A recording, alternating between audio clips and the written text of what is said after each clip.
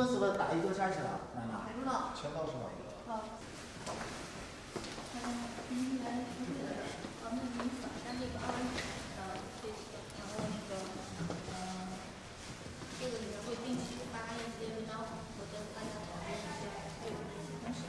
然后，呃，这个是这我们这次会议的介绍资料，然后这是眼镜布，还有这个我们哈士奇给大家的一些 logo，大家可以自己选，然后对。嗯，资料可以领一份，然后这个自己 logo 可以选一个自己喜欢的，还有眼镜布。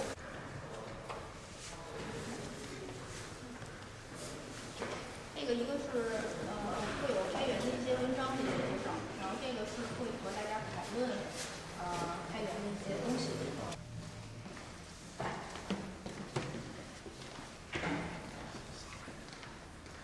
啊，你好，请先扫一下这个二维码。呃，这个是那个文章的一个介绍，会有一些开源文章，然后这两个是我们的呃沟通群，呃会跟大家讨论，呃对，这个是会和大家讨论一下呃开源的一些东西。然后这一块儿的话是呃赠送给大家的这个资料，这个是我们会议资料，然后这个是赠送给大家的眼镜布，然后这个 logo 大家可以选一好吧？然后呃，大家如果把这些资料拿完了之后，然后就可以进去到里面去那个找地儿做了。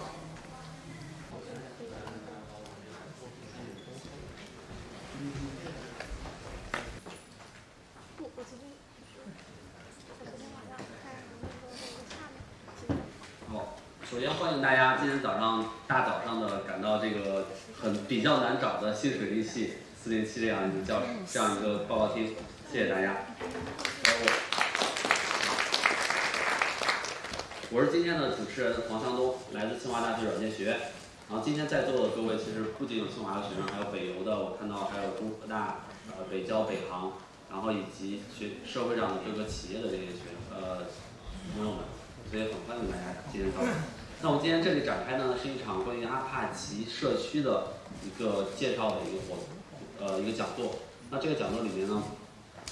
我们主要是呃来向大家推广开源社区。其实开源社区很大，但是我们重点是推广，向大家来介绍什么是阿帕奇的社区，阿帕奇社区的一些项目是怎么运转的。那这次活动是由清华大学软件学院，然后大数据系统软件国家工程实验室、阿帕奇软件基金会官方一起来发起和举办的。然后清华大学 TUNA 开源协会，呃呃创想俱乐部基金会分部、北邮开源软件协会和开源社共同来协办的这次活动。那首先我简单给大家介绍一下阿帕奇基金会啊，阿帕奇基金会现在是应该是全世界最大的一个开源软件基金会之一，然后它诞生了很多知名的这种软件，其中尤其近十年来咱们用到的很多大数据系统都是出自于阿帕奇的社区，所以相信在座的各位要么正在使用阿帕奇软件，要么今后也会去使用阿帕奇软件。那这次活动呢，我们一个亮点是我们邀请的所有嘉宾全都是来自于阿帕奇社区的，有阿帕奇社区的不同角色的嘉宾都到了现场。那这次我们邀请的嘉宾有，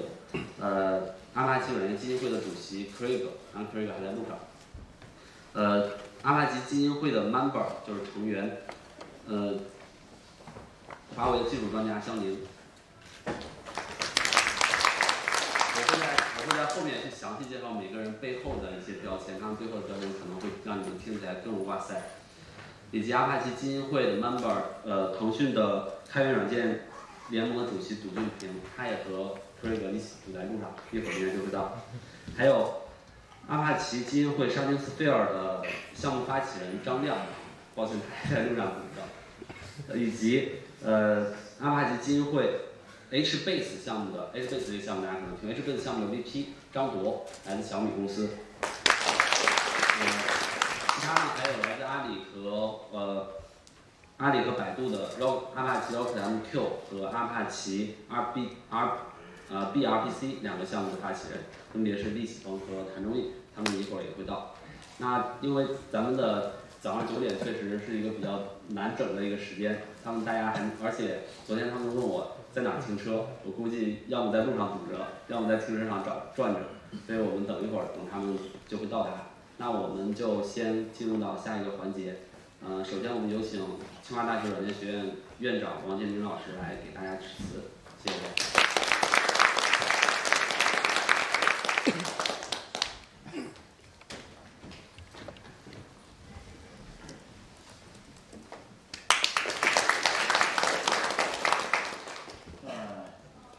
尊敬的各位朋友，啊，各位同学同仁，啊，大家上午好。今天是一个非常高兴的日子。这个我们这开源之道这个大讲堂啊，第二讲开始了。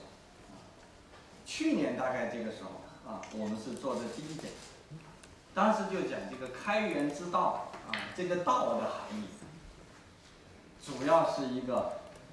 大家探讨道，是吧？开源的精神，开放的精神。这两天呢，咱们在有上海在办进博会，是吧？总书记再一次强调，中国开放的大门，对吧？只会越开越大。中国科技的发展。同样也会和世界同步共荣，而不是现在有些人讲的脱钩。所以，开源软件对于现在这样的一种国际的、国家的一种技术的发展，我想更有它的意义。特别咱们在阿帕奇基金会啊。这样的一个具有二十多年开源发展的这样一个社区，这样的一个平台上，大家来探讨这个问题，就更有意义。现在呢，回顾一点初心，就是清华大学软件学院为什么要搞开源，是吧？我们搞开源的目的是什么？这个。可以追溯到二十多年前，啊，就我们的孙家广院士，对吧？创院的院长，当时九七年啊，多次访问印度，回来呢就给学校、给教育部写信，软件一定会成为未来。社会经济发展的一个重要的因素，一个重要的产业。所以，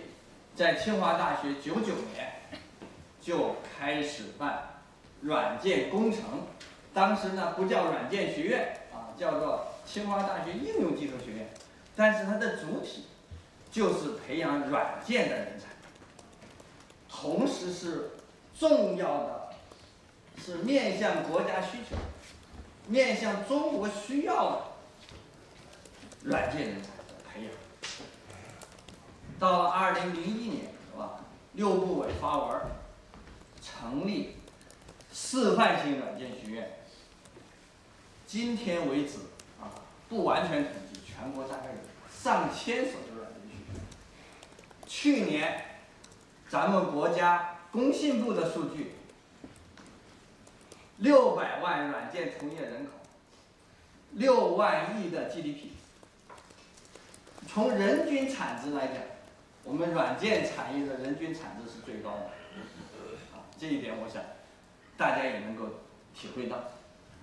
那么在这样的形势下，为什么要做开源呢？在一八年的时候啊，也就是去年啊，我们软件学院做了全国啊，也应该是说，也是我们学院第一次啊，国际的软件评估，软件工程学科的国际评估啊，来源于美国啊、欧洲啊，包括大洋洲的这些院士们啊，提了两个方面的建议啊。第一个方面的建议就是软件工程这个学科啊，要不仅要看论文，还要要看要看到代码啊。第二件事情就是对未来的软件人才的培养，我们的教学体系的问题。那么在这样的一种触动下啊，我们就把在四五年前啊，我们自己筹款啊，自己立的一个项目啊，就叫物联网数据库，就开源到了阿帕奇基金会。目的是什么？目的就是两条。第一条，培养清华大学根本任务就是培养。那我们软件学院呢，就是要培养软件人才。开源已经成为软件创新大家不争的一种事实，是一个重要的创新的一种形态和道路。那么我们未来的年轻人啊，今天我们非常高兴啊，很多的同学，不仅是清华大学的同学，是吧？刚才黄黄博士说，还有北邮的同学，还有北交大的同学，还有北航的同学，对吧？就是咱们中关村的哈、这个大街上的，对吧？这几大院校的同学都来了。我想这件事情是一个非常非常重要的一种信息。到的同学，我认为大家都把握了未来的脉络啊，就是开源讲来是软件从科学到技术到工程发展的一个重要途径。参加的每个人啊，其实今天还有来自上海的同学，呃，不是同学了啊，啊，一个创业者啊，对，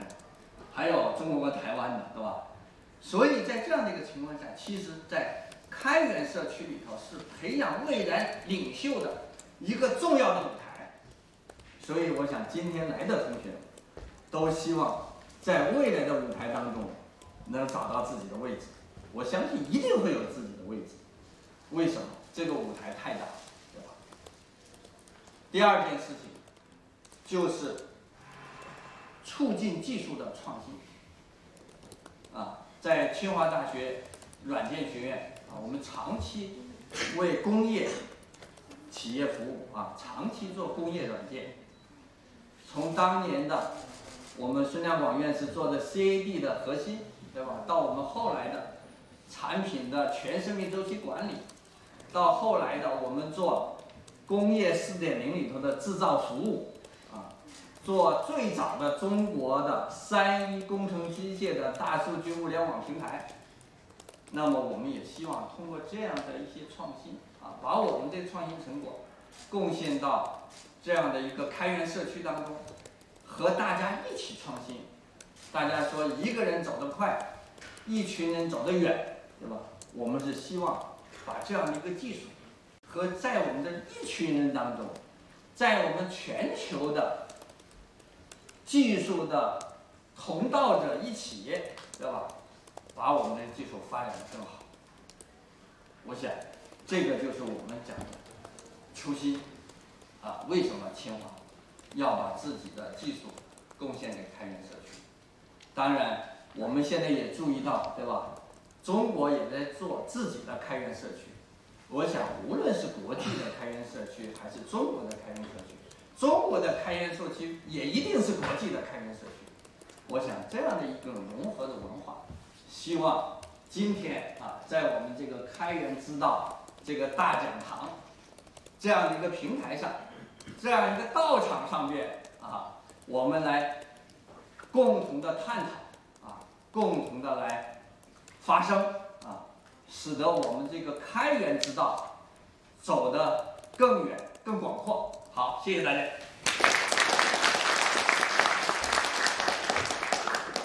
谢谢王院长。呃，那么我们接下来咱们先简单介绍一下这次会议的主要主要的这个流程啊。我们会议主要分成了两个部分，第一个部分呢是有请了五位嘉宾来去做一些关于开源的这个呃开源文化和怎么加入开源以及个别项目的一些介绍。那第二个环节呢，是我们就邀请邀请了一些其他的在座的一些阿帕奇社区的人一起来进行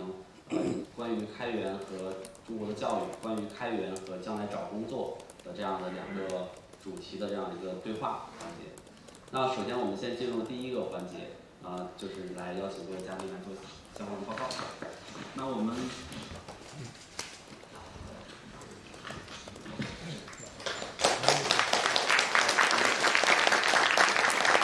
现在到到场阿帕奇基软件基金会的主席 Craig，Craig 先生，好，以及那呃阿帕奇的 member，腾讯的开源软件联盟杜俊平杜杜总，大家欢迎他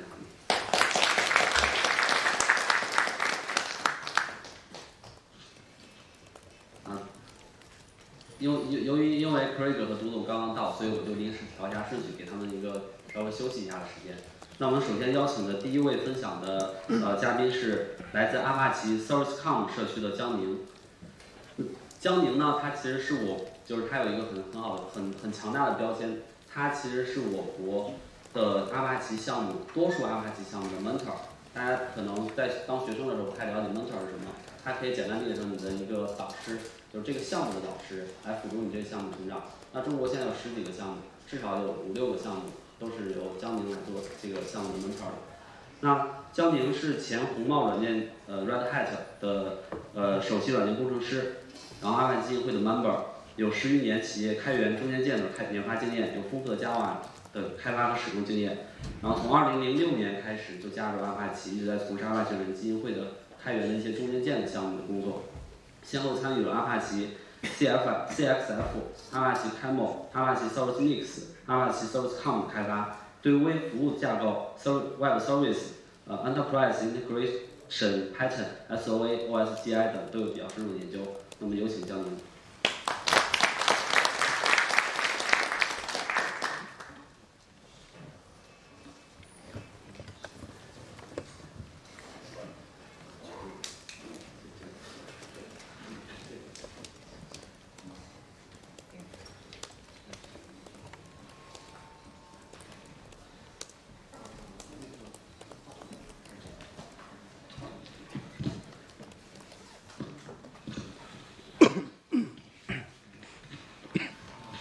这个一大早大家要赶过来还是挺不容易的。这个呃，就是前面向东其实介绍的比较多了，就是其实我认识香东也是靠阿帕奇，然后呃，因为我帮着那个 LTDB 呃孵化，就是呃可能我那个 title title 比较多，但是呃实际上大家记住我，我现在是阿帕奇的一个 mentor 就可以了。然后如果有什么项目需要帮忙的话，啊、我很乐意。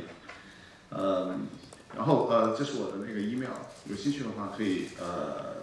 可以可以联系。然后呃，我不知道有多少人有微博啊，就是呃，就是那个威廉耿江，你可以在呃通过微博也找到我。然后后面的话，我会把我的那个微信号留下来，然后大家也可以找一下。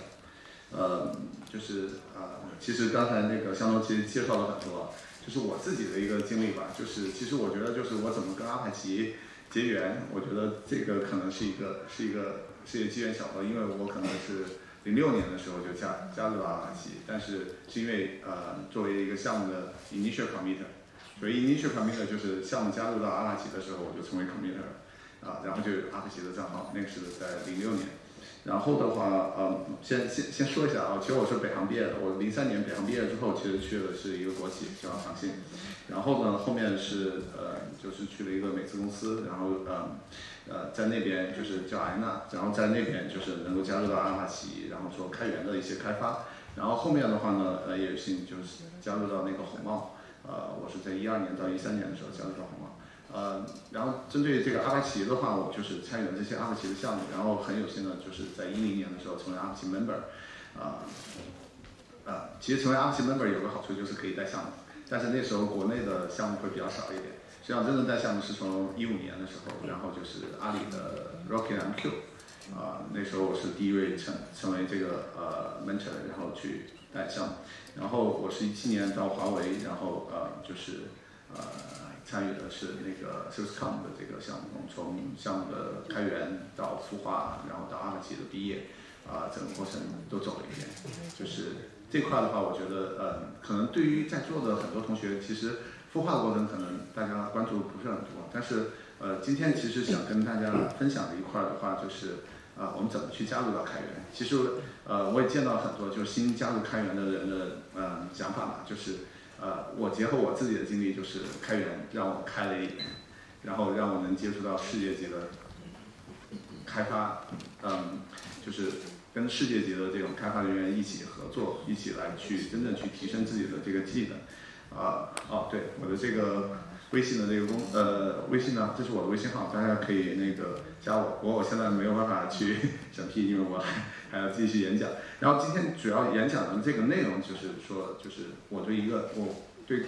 我的对开源的一个认识。另外一块的话呢，就是其实今天是来布道的，是想让更多的同学能够加入到开源。其实我们是会给大家举一些呃例子，然后让你能够呃很快的融入到这个开源的开发。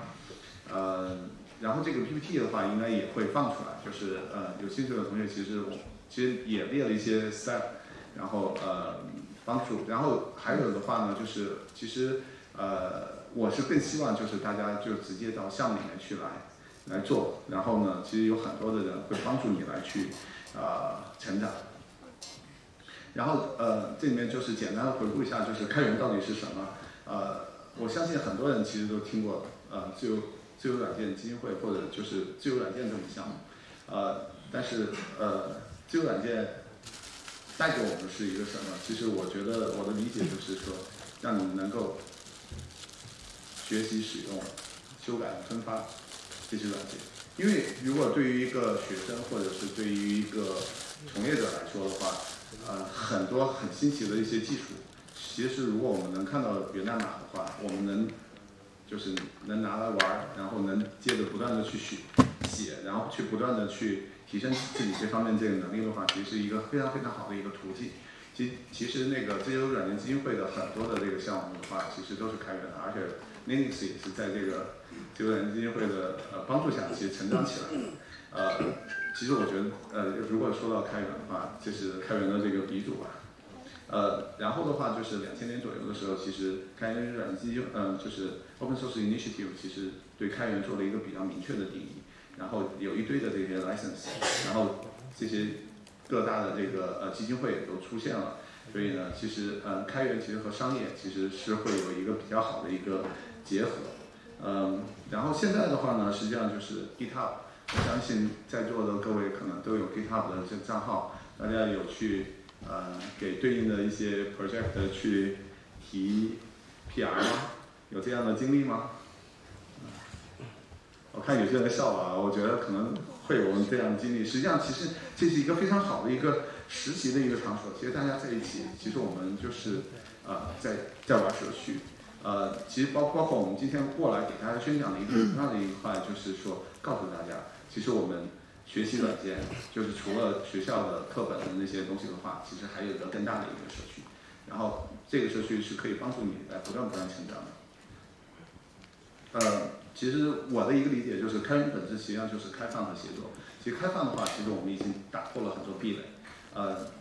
呃，其实我对我来说最大的感觉就是，我在国内其实我可以接触到国呃国际上的很多很新的一些东西。就因为我去了像，我可以以前的话，可能国内和呃呃国外的这个差距，可能十年到二十年的这种差距可能是有的。那现在的话呢，我们很多很新的那些软件，包括呃云原生的 Kubernetes，呃很多呃先从 Docker、Kubernetes 这一系列的这些弄弄呃走下来的时候，其实发现很多人其实已经对新鲜的这种技术已经呃很容易能够接触到，然后也能参与进来。实际上就是呃其实另外一块的话就是开放带来最大好处就是我们协作的成本会很低，呃，这里面其实后面会会讲，其实我们是有一些呃协作的一些技巧，包括我们可能需要用 email 来沟通，啊、或者我们需要去借助于一堆的工具来帮助我们去跟另外一个还在睡觉的时区，呃还呃可能还在晚上睡觉的人能够很好的能够协作。其实这里面社区里面有很多的 best practice，啊、这个我在后面会大概其的会给大家讲一讲。呃，这里面可能会跟国内的呃会有一些不太一样的一些地方，呃，这也是我们现在其实呃在孵化阿帕奇项目的时候，其实也努力让大家能够意识到的一些不同，啊、帮助大家来做。然后其实今天也是打个广告，参与到开源项目其实是一个最好的一个实习。呃，对于阿帕奇来说的话呢，其实阿帕奇就是一直在强调就 community over code。实际上我们其实在做呃社区开发的时候，其实呃一直都是秉承的这个理念啊，很大一块儿就是呃，因为我作为呃 member 或者我作为项目的呃 PMC，我其实很大一程度上我会去看就是有哪些种子，有哪些新的苗子，然后我们可以不断的去有一些新鲜的血液。其实今天的话，其实我们也是希望能有更多的同学能够加入加入到我们这个呃开源社区的这个队伍来，就是不一呃可能阿帕奇的项目其实是呃大家都已经知道了，名声已经在外了。如果你就是用大数据啊，很多的东西呃很多项目都在阿帕奇，那可能你也有一些 GitHub 上的一些项目，或者你自己有一些项目你想跟大家分享，或者你想体验一下开源这些经验，都都是可以的。然后的话呢，回过头来其实就是就是说，为什么我要提这个 community？实际上现在对于很多的同学，其实你你想加入到呃这个开源项目里面来，不是说你仔细去读那些代码，实际上是你要融入到这些社区里面。这社区里面会会有什么样的一些人呢？其实是就是大家对一些特定的问题特别感兴趣，然后呢，我们都在一起呃讨论分享，然后呢，嗯、在开源社区里面的话呢，其实可能你可能是用户，也可能是布老师，可能是贡献者，也可能是开开发人员，然后你也可能是文档。其实文档是一个很好的一个入口，是你帮助你融入到开源社区一个非常非常好的一个口子。呃，这个我在后面会给大家提一提，呃，怎么来做。然后还有一块的话，其实开源的话，我们以前我可能感觉不是很深啊，就是现在我我感觉比较深，因为呃，就是合规这件事情，特别你要去在融入到国际化的这个社区的时候，其实是要呃是要按照这个呃大家都认同的一个规则来玩。呃，这块可能跟国内的会有一些不同。呃，实际上就是我自己的 blog 里面其实也写了呃有关这方面的这个事事情，就是呃有兴趣的同学我们可以后面后面慢慢聊。哦，同时还还可能是营销。其实其实我们要加入到这个开源项目的社区里面，其实你可以办呃就是各种各样的人其实都可以加入进来。呃，其实你只要对这个呃项目感兴趣，或者你对这个 business idea 呃有有感觉的话，你都可以参与进来。呃，然后的话呢，就是开源项目开发和我们平常的公司的这种开发会有点不一样，因为开源项目的话，更多的时候就是自体向上这么一个构建，通过原型，通过快速的迭代来不断的去验证这么一个过程。呃，然后开源最最美妙的一个地方就是你可能能跟你的竞争对手一起合作，我觉得这个是一个呃非常神奇的一个呃呃一种软件开发方式吧。另外一块的话呢，就是嗯，开源项目其实有很多很多新的技术，呃，就是包括现在引领，就是我们云原生这边绝大部分的技术其实都是开源的。还有呢，就是呃，如果你去跟参与到开源呃项目的人来去交流的话，你会感被他们这个热情感动。特别我去昨天去参加一个 这个呃就是创业者的一个聚会，然后我又看到了这个这个其实其实他们也是都有很有激情的。其实我就是开源的项目的运营，其实很大程度上也是一种创业项目。你要把它运营好的话，其实是要投入很多的精力。但是我就能看到他们有很有光芒，脑子很活，然后都在去琢磨琢磨，就是未来可能呃五年十年能影响就是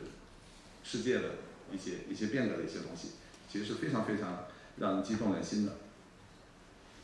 嗯，然后就回过头来，就是嗯，以前的话，其实可能十年前就是在国内去聊开源的时候，大部分的人都说啊，我们是靠情怀，啊 我们很难赚到钱。其实今天我们也稍微功利一点的话，实际上就是开源也是一个很好的一个，嗯，呃，怎么说呢，就是一个很好的一个名片或者一个很好的一个简历。现在的大公司，实际上如果你有很好的一个开源背景的话，其实找工作其实应该是很容易的，而且你可能会先人一步啊。呃，然后的话呢，就是以我自己背景来说的话，因为我在红帽呃，还有之前的话，实际上其实呃做开源软件有个好处就是可以在家上班，呃呃就在家上班，实际上其实就是嗯，可以算是一种就是呃离家近的一个很好的一块，就我们梦想的工作其实就是呃钱多活少离家近嘛，但是开源的话，我觉得离家近可能能能满足啊。活其实一点都不少，但是呢，当他去干了干干活的时候，其实是充满了激情。其实我觉得就像创业者一样的，呃，但是呢，就是以前的话，个人的很多开源项目其实是赚不了钱，但现在其实会会有这种情况，就是大厂各大厂其实越来越看重开源了，然后呢，其实会有很多呃怎么说呢？呃，以前说是赏金猎人，现在说是赏金的开源开发人员。实际上，如果你参与到开源，然后呃，其实你的很多能力是大家都能呃众所周知都知的，实际上你的身价是可以不断不断增值的。嗯，另外一块的话呢，就是其实就是热情，就是为什么大家能够呃热衷于投入额外的时间去做这种开源项目。呃，还有还有特别需要指出的话，就是阿帕奇其实是一个非盈利组织，呃，我们给阿帕奇呃项目做贡献的时候，实际上是不给我钱的。但是还是会有很多人，呃，现在阿帕奇基金会大概有七千多个 committer，呃，其实就是呃可以想想这七千多个人，呃每呃每天可能都在给这些项目做贡献。为什么他们会做这样的事情？呃，这块其实我觉得是一个非常有意思的一件事情，就是呃这块也是就是 Linux 呃呃 Linus 支付的这个。呃，他自己的一个自传里面，其实就《加速放》这本书里面，其实提到几点非常重要的内容。其实我就把它摘出来给大家分享一下。呃，其实就是第一个，这是你热爱的事业。你在做你喜欢做的事情的时候，你一点都不会感觉到累。因为我这里面没有提九九六啊或者是什么。实际上，如果是你在不断做重复的、没有创新、没有没有让你能有激情的事情的话，其实是很痛苦的一件事情。呃，另外一块的话呢，就是，呃，我觉得第二点其实是希望能跟大家共勉啊，就是，就是要挑战智力。实际上我相信很多，就是包括清华这边，呃，就是我觉得很多就是呃，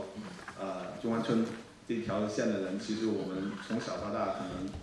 都会去考试啊，或者什么做奥数啊或者什么的，其实那些都在去挑战自己的智力。呃，但是呢，其实我觉得开源项目的话呢，其实或多或少都会有那些技术问题需要去解决。在，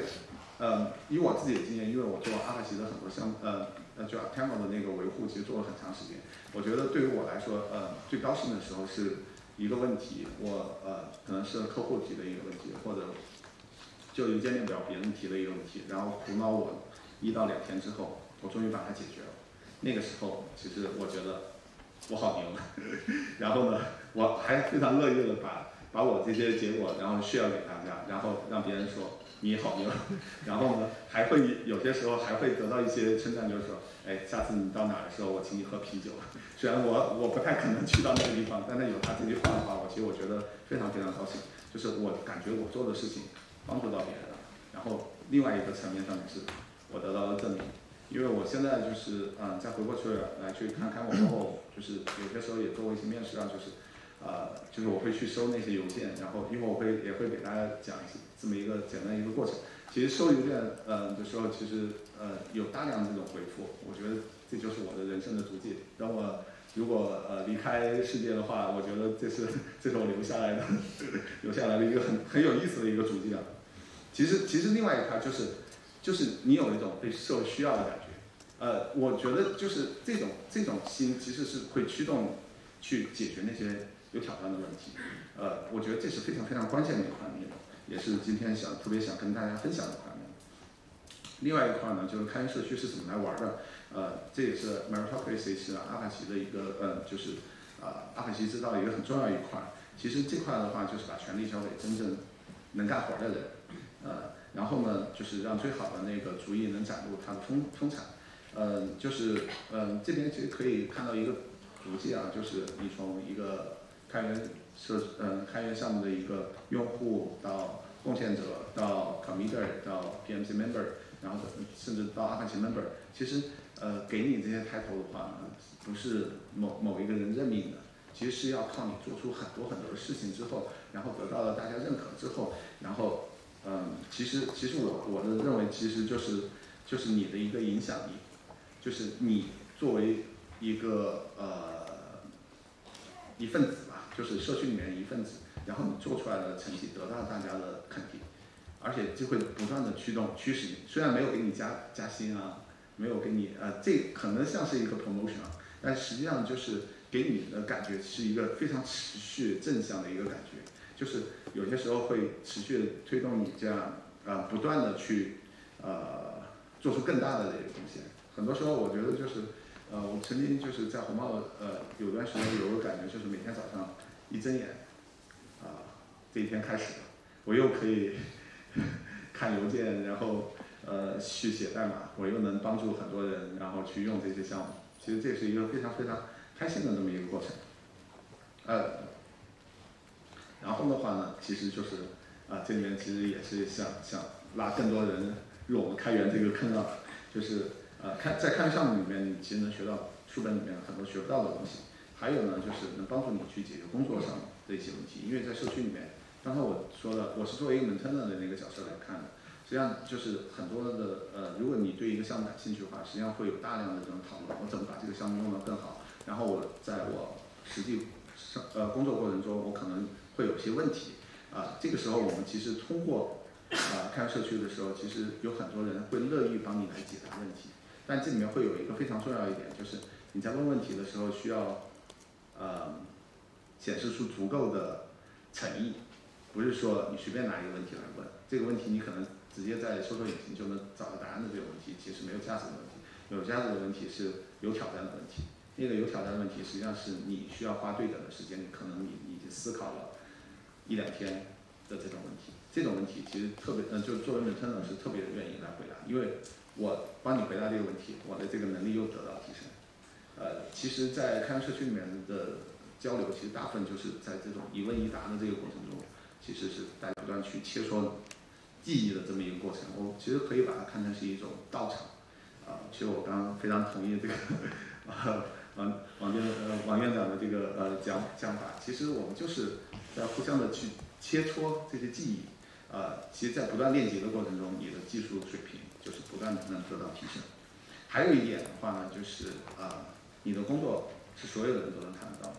任何一个人想要去做你的 background 的一个调查的时候，因为你所有有提交啊，所有的讨论啊，其实都是公开可获得的。在这种情况下，其实呃，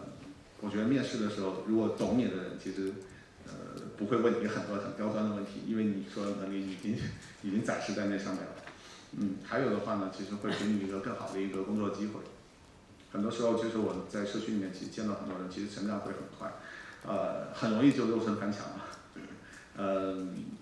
其实有有太多，就因为是最近，其实嗯，大数据这块的话，我我相信其实很多人其实都呃都有这样，特别语音大数据这块，很多人其实肉身翻墙是为什么？其实就是因为他参与了阿帕奇的一些项目，很很容易就能找到对应的工作。其实因为这样的人其实还是很少的，呃。呃，然后怎么去快速融入到这个开源社区呢？其实，呃，这里面其实我简单列一下，其实我觉得最核心一点就是要有这个好奇心，呃，因为其实源代码放在那儿，没有人阻止你去去去了解它的实现细节，可能那个代码比较难读，但是 但是实际上你如果有一颗好奇心，就这个东东西为什么不工作？如果你去琢磨琢磨的话，你是是是很容易得到结果的。其实这块的话，我觉得，呃，下面有句话，我觉得是是是我比较得意的一句话，就是，呃，因为其实我们太多的就说，嗯、现在可能阶层的固定啊，或者你说你没有足够强的爹啊什么之类的，其实我觉得在开源社区里面，其实没有这样的没，嗯嗯，没有你没没有人给你一个固定的一个标签，其实就是看你是不是足够勤奋，因为我们能看到很多的开源项目那些人，就是他通过半年的时间，就是吃饭睡觉都在想这个项目的时候，其实他是很容易就能成为核心的 maintainer，就是半年的时间。其实我觉得和你你可以自己给自己约定一个目标，然后其实你就去混那个社区，然后想尽一切办法的去成长，其实很容易就是嗯，当然你要去挑对社区啊，跟跟对人啊。呃，其实我觉得只要你有那颗好奇的心，不断的去琢磨这件事情的话，其实你的成长是会很快很快的。呃，另外一块的话呢，就是这是基本能力了，就是你要有获取知识的这个能力，因为虽然是开放的，但你要会检索，会去会去读那些东西，然后帮助你去快速的成长。呃，这里面呢，其实用搜索引擎这算一块，另外一块非常有用的就是 Stack Overflow。呃，如果有兴趣的，我觉得大家去可以上去去找一找。另外一块的话，就是跟你的同僚去聊一聊，就是如果你们都在去，呃，你可以做一些对比，就是你们都在去解决同一个问题的时候，如果他比你快的话，你要去聊聊他怎么去识别出那些关键字的。因为搜索引擎去找的时候，其实，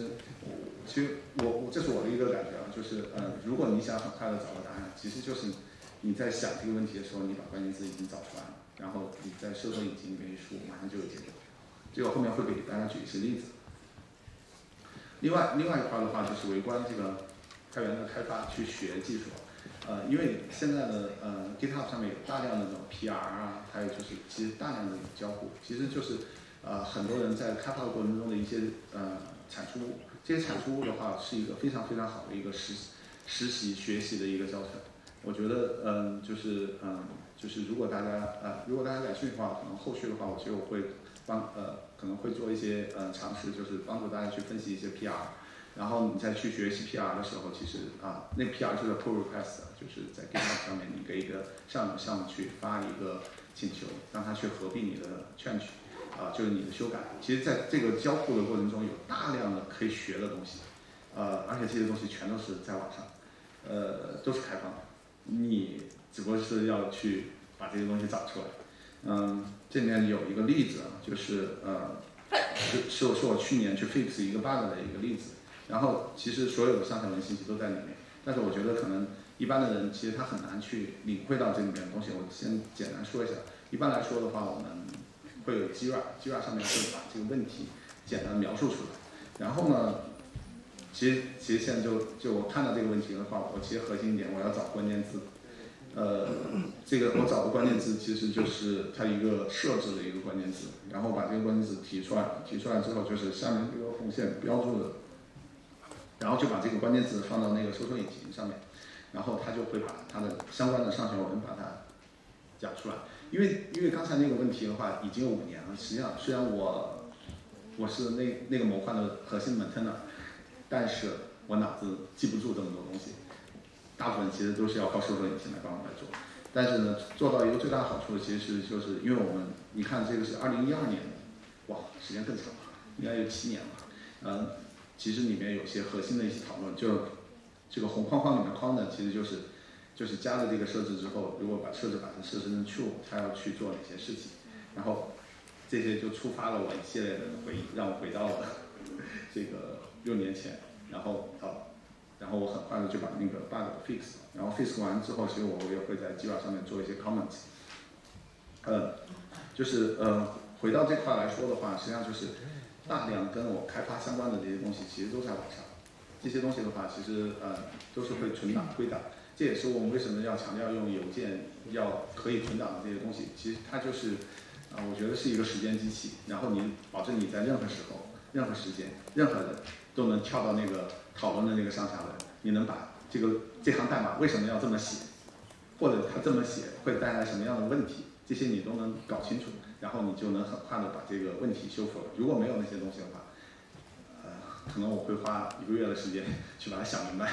那那就太耗时了，太好理了。嗯，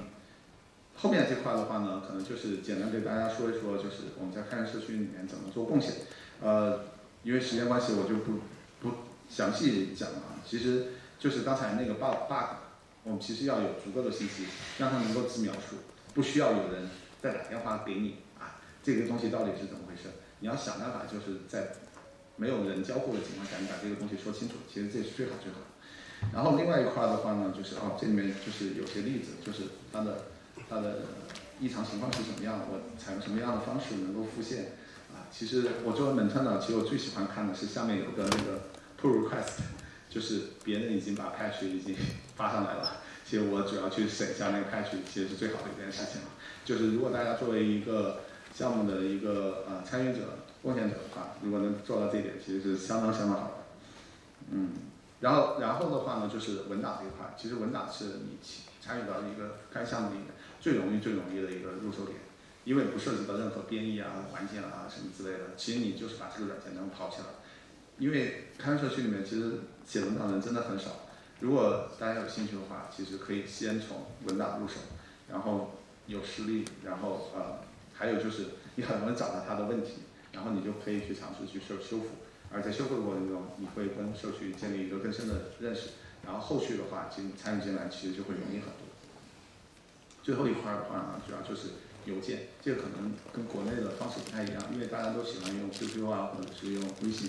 但这也是我们现在就是极力想帮助大家去呃，就是现在的很多阿帕奇的，就是在从中国来的这个阿帕奇项目的话，其实都遇到这样的这个问题。但是我觉得对于在座的各位，其实阅读英文就写英文应该都没有什么问题的情况下，我觉得尽量你还可以去拥抱这个邮邮件，因为这块可能还是大部分主流都是会基于这种方式来做。虽然相对来说会比较低效，但是它是一个义务的方式，因为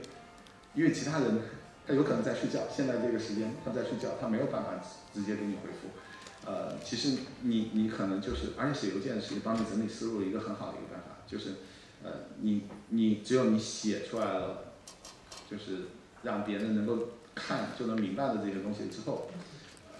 你的反馈可能是是是是会更及时，虽然它会相对来说比较低效，因为以前我们就是一去一回，一天没了。就是因为一去一回一天没了，所以我们要把 这封信写得很详细，把我能够想到所有东西都把它写出来。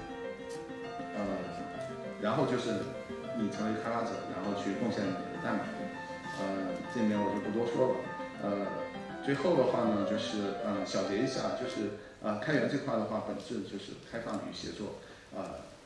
其实我们开放这些东西，其实你要去想办法怎么把开放的东西能够检索出来，然后尽量嗯。去用那些好的方式方法去跟大家一起协作，呃，然后呢，开源的项目是一个最好的一个实际场所，呃，如果你现在就是有时间，或者你也是做软件的，我非常建议你参选一个开源项目加入进来，呃，后面的话我们应该也有呃，就是一些项目的一些推荐，然后呃，就是如果有兴趣的话，也可以加入到我们的呃项目中来，嗯，呃。然后我这边的这个分享大大体就这样，然后，嗯，呃，看大家有没有什么问题？啊，问题留到最后是吧？好好好。好好好。嗯。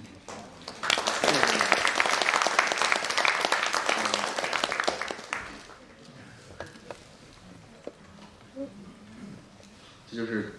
那个讲舞台太不舍得江宁把这个分享结束。所以把话筒然后拉着他不让走。那我们其实还准备了一些那个小的礼物啊，一会儿再就是由开源社，主要是由开源社来给大家的一些小的徽章。啊，一呃之后呢，就欢迎大家来进行一个互动和提问。那我们演讲嘉宾呢，也可以在中间跟大家做一些提问，也是没问题的。我们可以给大家一些小的这种奖，这个 coin 的这种小纪念品。那我们接下来第二个呃邀请的嘉宾是来自于阿帕奇哈杜普社区阿帕奇。Q 呃 Q 比 MQ 呃社区的杜俊平，啊杜俊平是腾讯大数据海量计算、存储及数据湖技术技术负责人，然后专家研究员，腾讯开源联盟主席，他同时是阿帕奇开源基金会 member，阿帕奇哈杜普项目 PMC，哈哈杜普项目大家应该都是耳熟能详的。那么杜俊平呢，他是哈杜普项目在中国的第一个 committer，呃，他具有丰非常丰富的这种开源软件的这个开源社区的经验。那么欢迎你们来给我们介绍。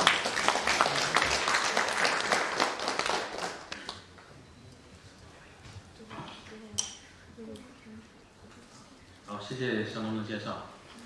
那个首先给大家说一声抱歉啊，那个早上的时候，呃，路上堵车稍微晚了一点。我跟那个 Craig 从东三环国贸那边大概过来，大概花了一个多小时时间。我没想到周六的早上也这么堵，可能跟我的姓有点关系，先跟大家抱歉一下。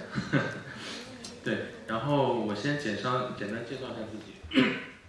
我叫呃董俊平，现在主要腾讯负责一些开源的事情，然后包括我会呃对这个腾讯的整个大数据的呃海量的存储、计算还有数据库方向都是研发的负责人。然后我自己呢，本身也是呃 Hadoop 社区的 committer，呃 PMC 从零三一三年开始呃就是 Commit，然后后后面一一路就是升级打怪，刚才呃刚才那个 江宁也提到一路升级打怪，然后然后去年成为了这个 member 金会的 member，嗯，然后包括一些发布了一些 Hadoop 的这个 release 二点六、二点八的相关的一些 release，所以我觉得做了一些 release 的工作对我来说还是蛮有意思的，因为 你能看到就是说。大家这个在这个各行各业对吧？然后各个公司各个呃地方都在运行的这个呃这些呃软件是你发布的这个这个这个产品，会觉得很有成就感。所以后面张铎呃张铎是 HBase 的 VP，他后面也会一些介绍一些相关的一些经验我估计。对，然后我这边呢会从呃整个大数据的这个角度百度的角度来谈一谈，大概我自己参与开源的体会，包括。因为我自己身上应该有两重身份，一份一一一一重身份就是说我如何去加入融入一个开源社区，然后另外一个项目是 QMQ 是一个阿帕奇的 Incubator 项目，会去讲可能会讲一些，那如何去发起一个阿帕奇的项目，或者如何去发起一个开源项目，呃整整体这样一个一两个过程或者两个脉络。然后第一个脉络说为什么要参与开源呢？我觉得首先开源是一个很主流的技术，大家不要觉得我们今天现在在学校里面学的这些技术。很多时候，呃，我觉得都是，呃，都是很有用的东西。那这些很有用的东西怎么样去，呃，最后落地呢？其实，你如果去看整个业界来说，不管是从从操作系统，对吧，到开源库，让开源技术、大数据的技术、人工智能技术，主流的技术，现在其实数据库包括数据库，开源是一个非常非常主流，呃的一个，呃一个一个技术。所以大家不要觉得你去做开源，你是做非主流，这是这是一个误解，就绝大部分。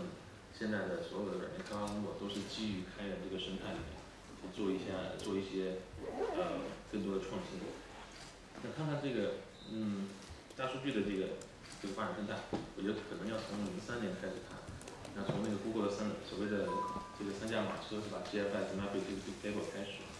它 Google 当时有很好的 idea，他们自己有很好的平行系统，但是在那个时候，零三年就是说类似像 Google 这样的公司可能也不会。去大规模的去投入到开源这个这个这个这个领域，但是多年之后，他们其实后面后悔了，因为他们是最早，应该说是海 a 的鼻祖，或者说海 a 是跟着他的 idea 来来发展的。但是后面其实，在 Google Cloud 呃上面，他们用的不是呃内部运行了十几年的这种 m a c r o s 版本，而是我就是通用的通行的这海 a 的这个版本。这是为什么呢？因为开源的东西。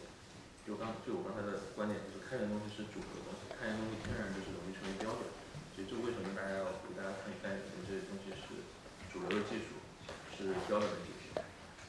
然后到了零六年，就是其实是整个一个大数据应该开源时代的起点，那就是 Hadoop 项目成立，它其实是从应该是 Lucene、Nash 这样一个搜偏搜索引擎的一个项目分分拆出来的，因为最早做搜一开始的这个主要对象呢是做这个搜索，发现呃。数据查重查回来的数据呢，需要要花大量的时间去做这个建索引啊，包括做一些数据处理。后来慢慢的它独独立独立出来。到后面，呃，HBase 在零八年，HBase 也成立起来。HBase 有段时间其实跟 Hadoop 是是在同样就是代码的 p o s t 里面。所以慢慢你会看到 Hadoop 零六年成立之后呢，有 HBase 也后面也成立，包括一些 SQL 的像 Hive 的这些项目也成立了。然后到包括 Storm 像计算。呃，引擎也发明了，后面的 Flink、Spark，它是一整套的一个体系，就不是它不是一个技术，所以说，但是这么多年发展，它都仍然是那个海度，海度仍然是呃非常嗯广泛采用的一个底层基础技术。那我自己从嗯一三年成立的之前，大概一一二年就开始贡献呃海度的代码，其实到这么多年，到一九年的时间，八年的时间，其实我换了三家公司。但仍然在围绕着大数据、很多的这个领域进行工作，所以开源工作，我觉得既是主流的，也是其实说你一旦选择一到两个项目之后，你可以就是说不说终身工作吧，你的你的在这个领域的工作的的这个你的这个知识的寿命或者你的工作的这个有效期可以得到大大的延长，这就是我觉得第一个解决问题，为什么要参与开展？然后另外一个就是说，在开参与这个开源项目的时候，大家其实要一个开放态度。比如说我现在是一个技术的忠实粉丝，我是 Spark 的粉，那是不是我要去反感 Flink 呢？是不同的一个技术路线。其实在一个嗯，有一大大数据很多的这个生态体系里面，这里面有很多很多各种的技术，有些技术互补的，对吧？比如说我有现在有存储，对吧？我有 HDFS，有 ODOM，对吧？有这个文件存储，有计算存储。我上面有计算有不同的计算引擎，MapReduce、Spark、Haze，还有一些流计算引擎，Flink、Spark Streaming、Storm 等等。它很很多的这些项目，生态项目呢，它是一个互补的一个状态，包括基于路上面有可以有的 h i v 这样的 SQL 引擎，包括像呃基于 HDFS 它上面可以有 Impala 或者是啊 Crystal。但有些项目呢，它又是一个竞争的关系，比如说 SQL 引擎里面，Hi、Spark SQL、Impala、Crystal 曾经这个每个厂每个 SQL 引擎后面都有一个开源的所谓大厂的重点知识，所以它这它这些呃好的这这这种呃生态系统里面，它既有一些竞争的关系，又有一些合作的关系。那我觉得这就是花旗或者说一个大数据呃或者是一个开源项目或者开源项目生态它的一个魅力，就是说它既允许你不同的组件开源组件之间相互的合作，那又允许你之间这个优胜劣汰就是互相的竞争。那一旦嗯这样的话呢，你就是在投入一个社区的时候，除了根据自己的喜好，你还要有一定的判断能力，或者说你跟你的工作跟未来的发展方向有一定的结合能力，你要去你要去挑，你你你有机会去挑，你有机会去挑任何一个开源社区，你也有责任去一旦选择一个社区就是持续的贡献，让这个社区让这个技术慢慢的变好，变得更加的主流。所以呢，其实我我之前也是跟 Craig 包括其他的一些开源的 leader 去聊过，什么样怎么样定义成功成功的开源项目？其实这个也很难说，就是说我们但是一个艰就是很难去量化的一个，就很难说啊 Spark、Hadoop 做成功或者 Kubernetes 做成功。但是我们觉得一个基本的一个一个呃一个要求就是说你一个好的一个开源项目，首先要有一个办的这个社区，对吧？我后面会介绍到社区的组成，还有它实际上是最主要下面几层用户到上面开发者到上面的这些核心的这些开发者组成的一个社区。你有足够的呃足够大量的人来参与到这个贡献，那你这个社区项目这个开源项目才算是一个成功的标准。第二个呢，就是说所谓的构建一个生态，那这个生态刚才已经说到了，你有呃跟你配合的，是吧？一个同质化的一个产品，呃就是意识意识化的一些产品的或者项目的生态系统。那同时呢你可能也有你有一些竞争对手，对吧？你没有如果没有一个竞争对手，你可能就真的做的不够好，对吧？那 bug 比如说刚出来的时候，我觉得我比 MapReduce 快十倍可以百倍，为什么盯着 MapReduce？盯着它都不做，因为它都足够成功，对吧？它不会说呃我比一个嗯没有得到广泛应用没通过的一个项目做得好。所以这个嗯怎么去定义这个好的开源项目，我觉得很难说，但是一定离不开这两个，一个是社区和生态。那加入这个社区，加入这个开源项目社区。帮助这个社区构建好这个生态，我觉得就是很重要的一个使命。然后从这个合作的项目，我觉得可以看一看这个开源文化。刚才其实江宁也提到了，就是说在开源社区里面，我们会更加尊重人，超过这个代码，对吧？如果我们有一个就是 Apache 的一一种说法，就是如果我们有好的代码，但是这个 community 不 work，就是说呃人心都散了嘛，对吧？那人都会走，对吧？然后 code 就代码会腐烂。但是如果你有一个好的，就是说你代码很烂，但是你有一个很好的一个社区，那这些人会不断的就是把这个代码优化起来，会有一个好的，最终会有一个好的项目。所以以海渡来说，它最早你看像这边我画的这个图是最早像呃有这个 Docking 的先生，他是最最早的海渡的这个之父，然后后面一六年的时候是我原来对我们是一个在一个公司，就是最早孵化海渡的一帮人。啊，里面有 H D H HDFS 的 creator，有 MapReduce creator，有这些人就是大家在一起一个非常有效的方式在一起工作，慢慢的把一个项目把它孵化出来，变成一个主流的项目，同时去吸引这个呃外部的开发者进入进来。我觉得从这个角度来是一个非常成功的一个开源的一个文化。然后刚才也提到了整个海都布社区或者说一个开源社区的一个标准，那从这个地方好像不是很清楚啊，就是它是以可以看到最下面是一个目标用户，就是一个大的一个用户底座，这个是对于开源项目非常重要，因为你这个是一个社区的基本的组织，你不你不能指望就是说一个你的你的开发者团体是吧，从来就没有成为这个这个软件的用户，如果一个软件开源项目没有用户，没有最终用户，那一定是没有生命力的，一定是要死掉的，是吧？然后有了大量的这个广泛的这个用户之后，对吧？这里面就有所谓的使用用户，就是说我可能有有些用户只是我把这个代码下下来玩一玩，这个玩一玩装一装但是有些人说的哦，我发现这个软件有价值，真的能帮我解决那些问题，所以这会变成使用用户。在使用过程中，他会发现各种各样的 bug，没有软件是零 bug 的。这个我觉得除了你要想做到零 bug，只有一个办法，就是把所有的代码都删掉。然后去年好像有一个事情，就是说他们搞了一个 AI 自动发现 bug 和自动解决 bug，最后发现唯一的方法，那个 AI 很聪明，呃，达到一个 zero bug 的方法就是把所有代码都删掉，所以那个 代码那个 AI 就把所有的代码都删掉了。所 以所以所有的代码，所有的软件其实都是有 bug 的。用户会会慢慢的会发现，哎，呃，来放上我发现一些 bug。然后发现 bug 之后，发现哎，我就把这些 bug 提到这个社区里面。有些社区，有些很快的就被人 fix 了，对吧？就是，但有些 bug 可能不一定能得到及时的 fix，那那怎么办？那我觉得我们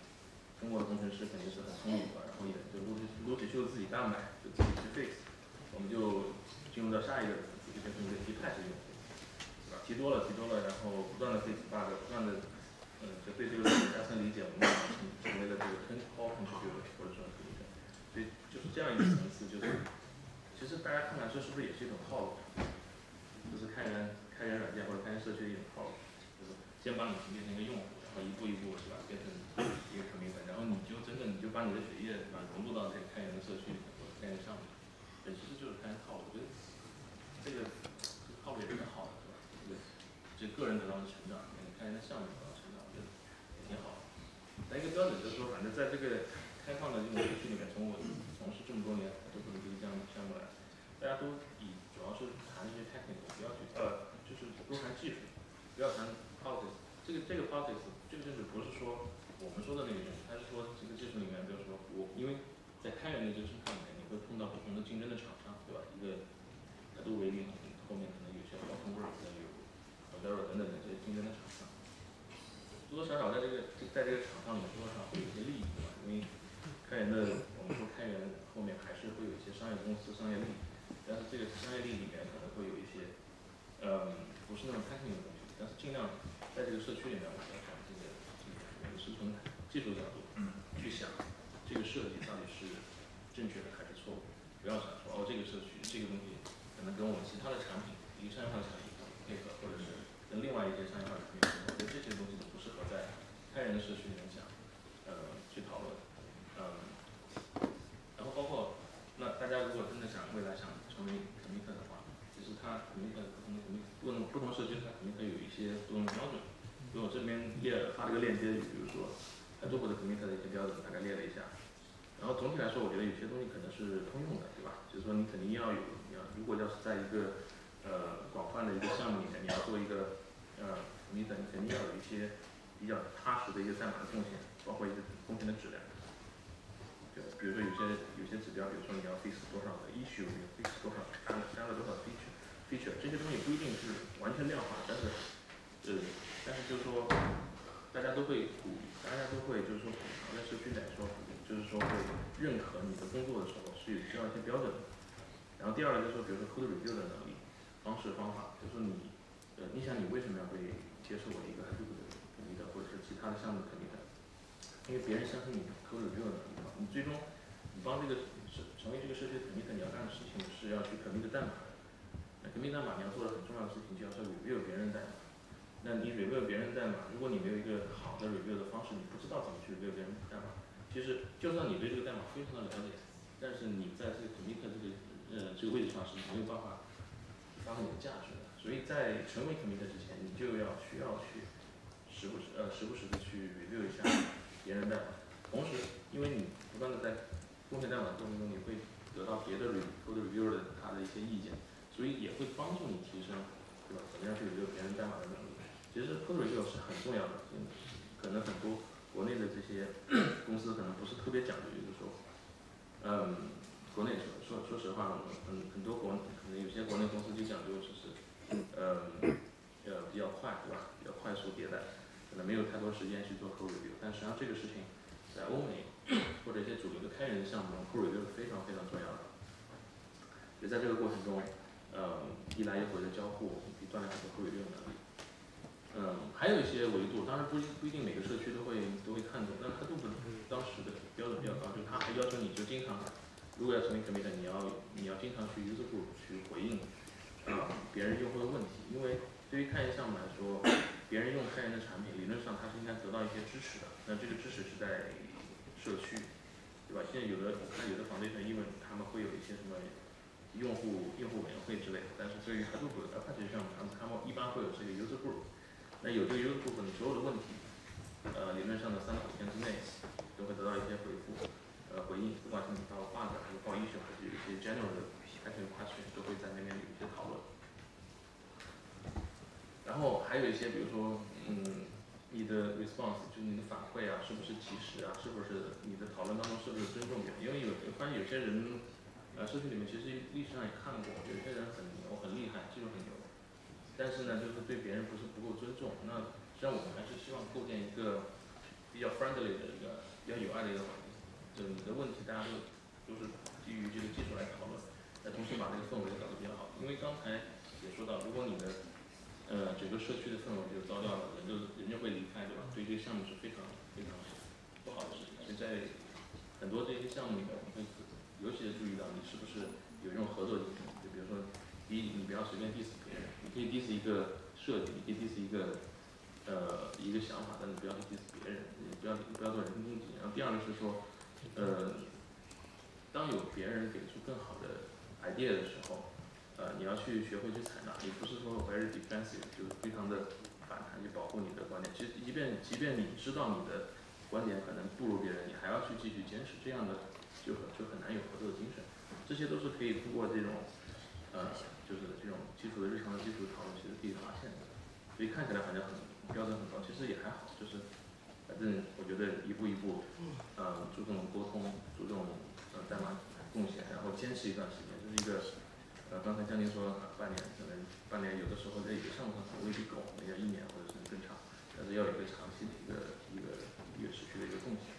这是一个怎么看一个标准。呃，刚才其实也说了大大概怎么去挑项目，但是其实也不是说挑项目就首先要是呃就是根据你自己的兴趣哈，就是说对什么东西感兴趣，我觉得兴趣是第一位的。其次在兴在兴趣呃好像有好几个趋向趋势就是有几个拿捏不拿捏不住的情况下，你可以看一看把整个一个技术的发展的方向轨迹，比如说呃大数据啊，你觉得发展的很好，或者是人工智能发展很好，你可以挑一个你感兴趣的，就跟你的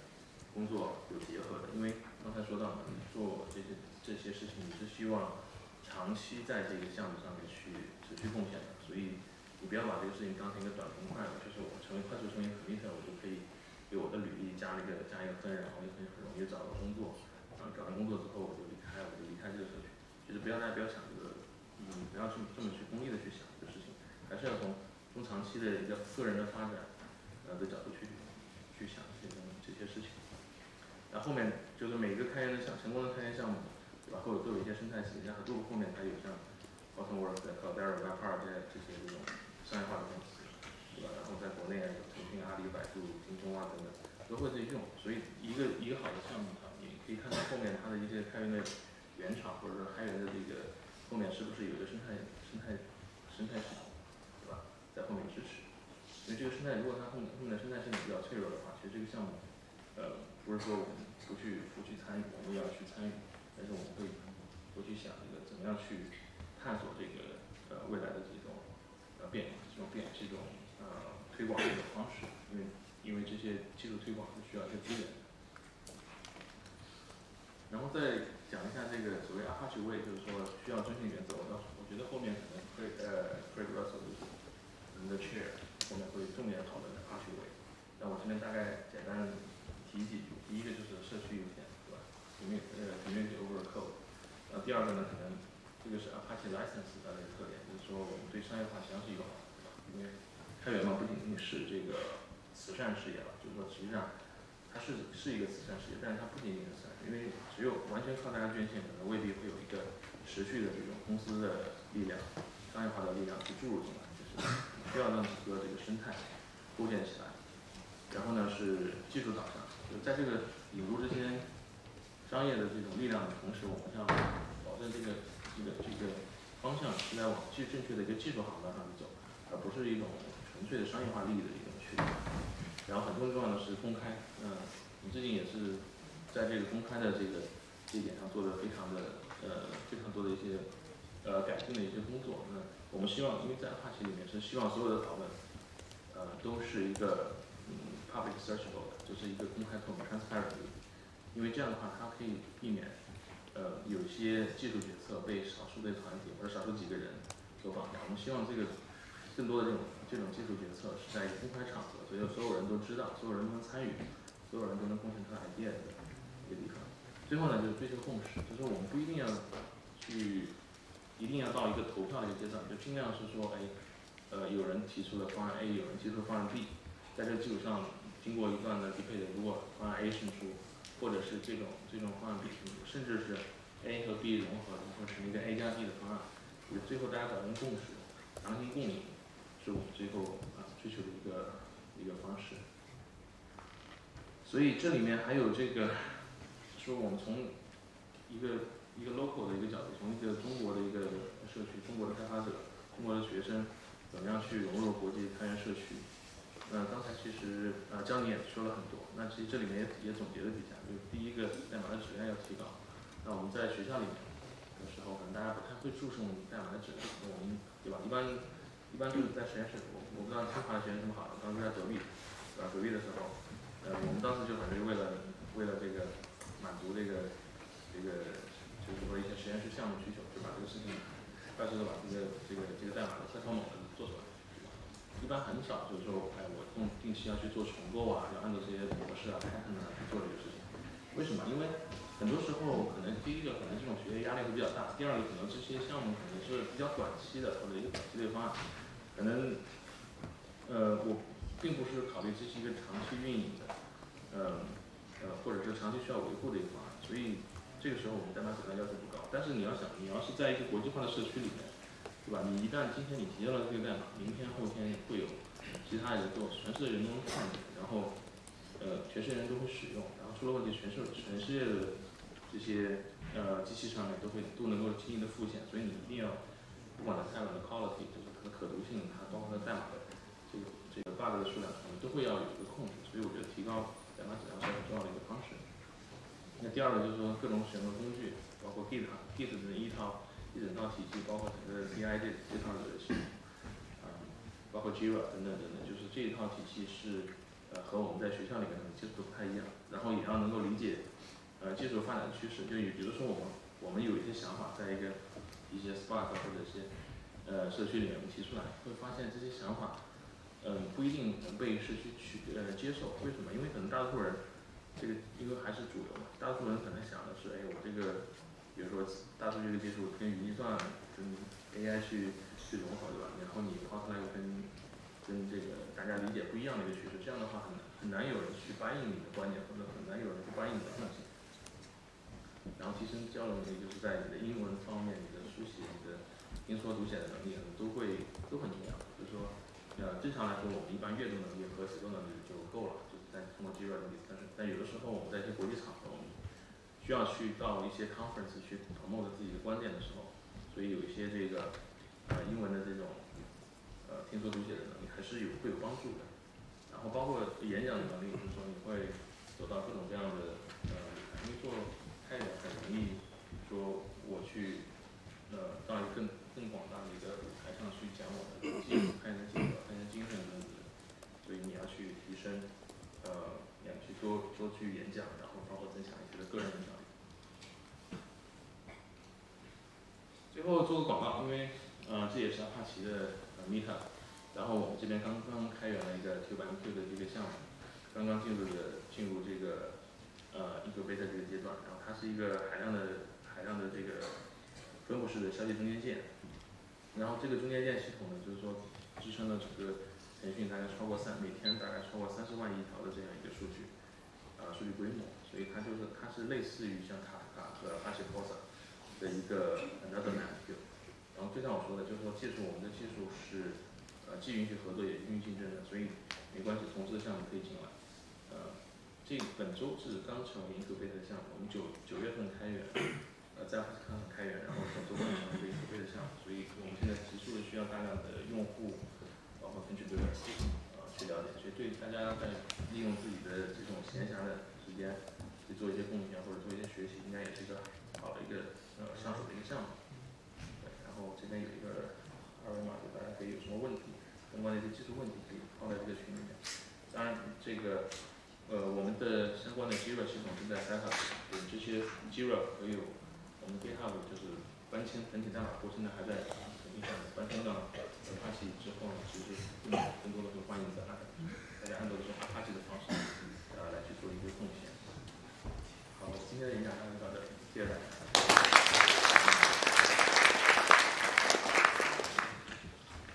呃，谢谢杜总的介绍啊。然后刚才其实我们两个报告分别，呃，以开源的布道者的身份跟大家讲了一下什么是开源社区，然后大家加入开源社区有什么好处，以及呃开源社区的一些基本的这样的一个组织结构。那么接下面两个报告呢是会一方面也会介绍一些这方面的东西，第二方面呢，刚才其实前面两个嘉宾说到了，你要选择一个好的开源项目来加入社区。那下面两个下面两个报告会引出来两个相关的呃比较新的阿帕奇的项目，然后我们从项目的视角来看一下我们的大家该怎么加入社区和带带给大家带来的好处。那么下面我们邀请呃来自阿帕奇 Sharding Sphere 社区的张亮，张亮是京东数科数据研发负责人，阿帕奇 Sharding Sphere 的发起人和 PPMC，然后也是京东 GDTX 就是京东的事事务中间件的负责人，他擅长 Java 为主的这种分布式架构的设计，然后呃目前主要精力就投入在分布式数据中间件 s h a r n Sphere 和京东数科的分布式事务中间件上，然后目前有出版书籍《未来架构：从服务化到云原生》，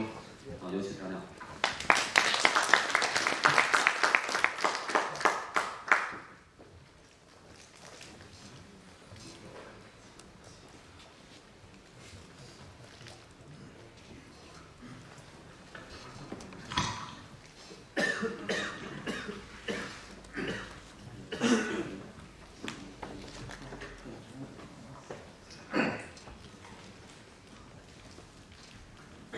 啊、大家好，很高兴今天可以来清华和大家，这个是我头一次来大学和大家去分享。然后之前其实分享的挺多的，都是跟 Sphere 技术本身相关的事儿。那今天也是头一次可能会去分享一些以开源为主的一些相关的事情。那我今天分享的主题是阿帕奇山 Sphere 社区的探索与扩展。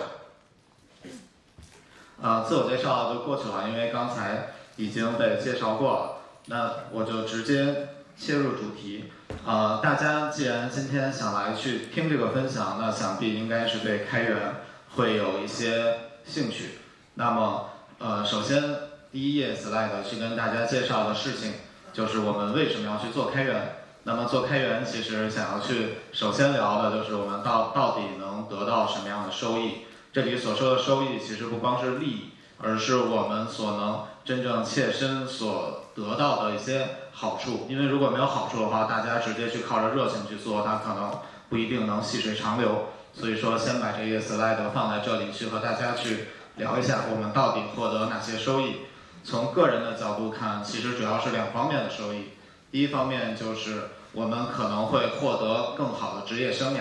我相信大家都是清华大学的同学。你们应该不会担心未来能不能找到工作，但是你们会不会担心未来能不能找到更好的工作，或者会不会担心未来能不能找到比更好的工作还要更好的工作？因为什么是更好的工作，其实每个人可能心里面的想法是不一样的。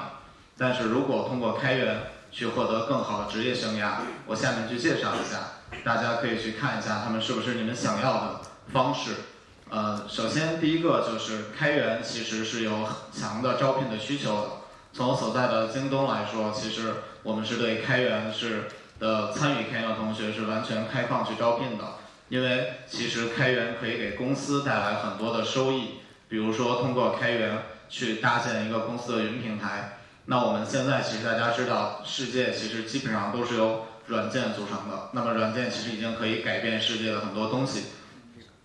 然后我们现在的开源其实也会被云平台所广泛的去使用，因此在互联网公司，尤其是以做云相关的公司来说，其实开源是很重要的组成部分。那么做开源一定会有很多的开放的职位去拿到，所以说这些是我们做开源的一个 base 一个根基。那么有了这个底座作为支撑，我们就可以尽情的发挥我们的兴趣。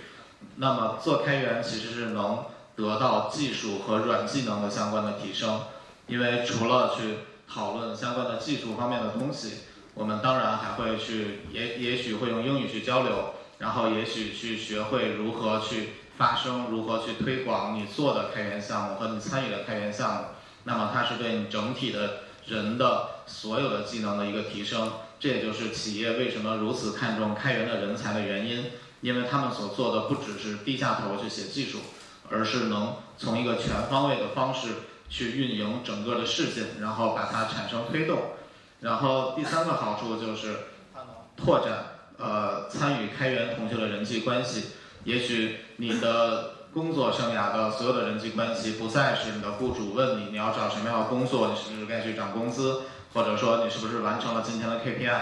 而是你可能会有更多的交流，在技术方面的交流。或者说，也许会有出版社会找你写书，也许会有公众号会找你去分享，也许有各种的会议会邀请你去分享。它其实是一个整体的技术圈的关系的拓展。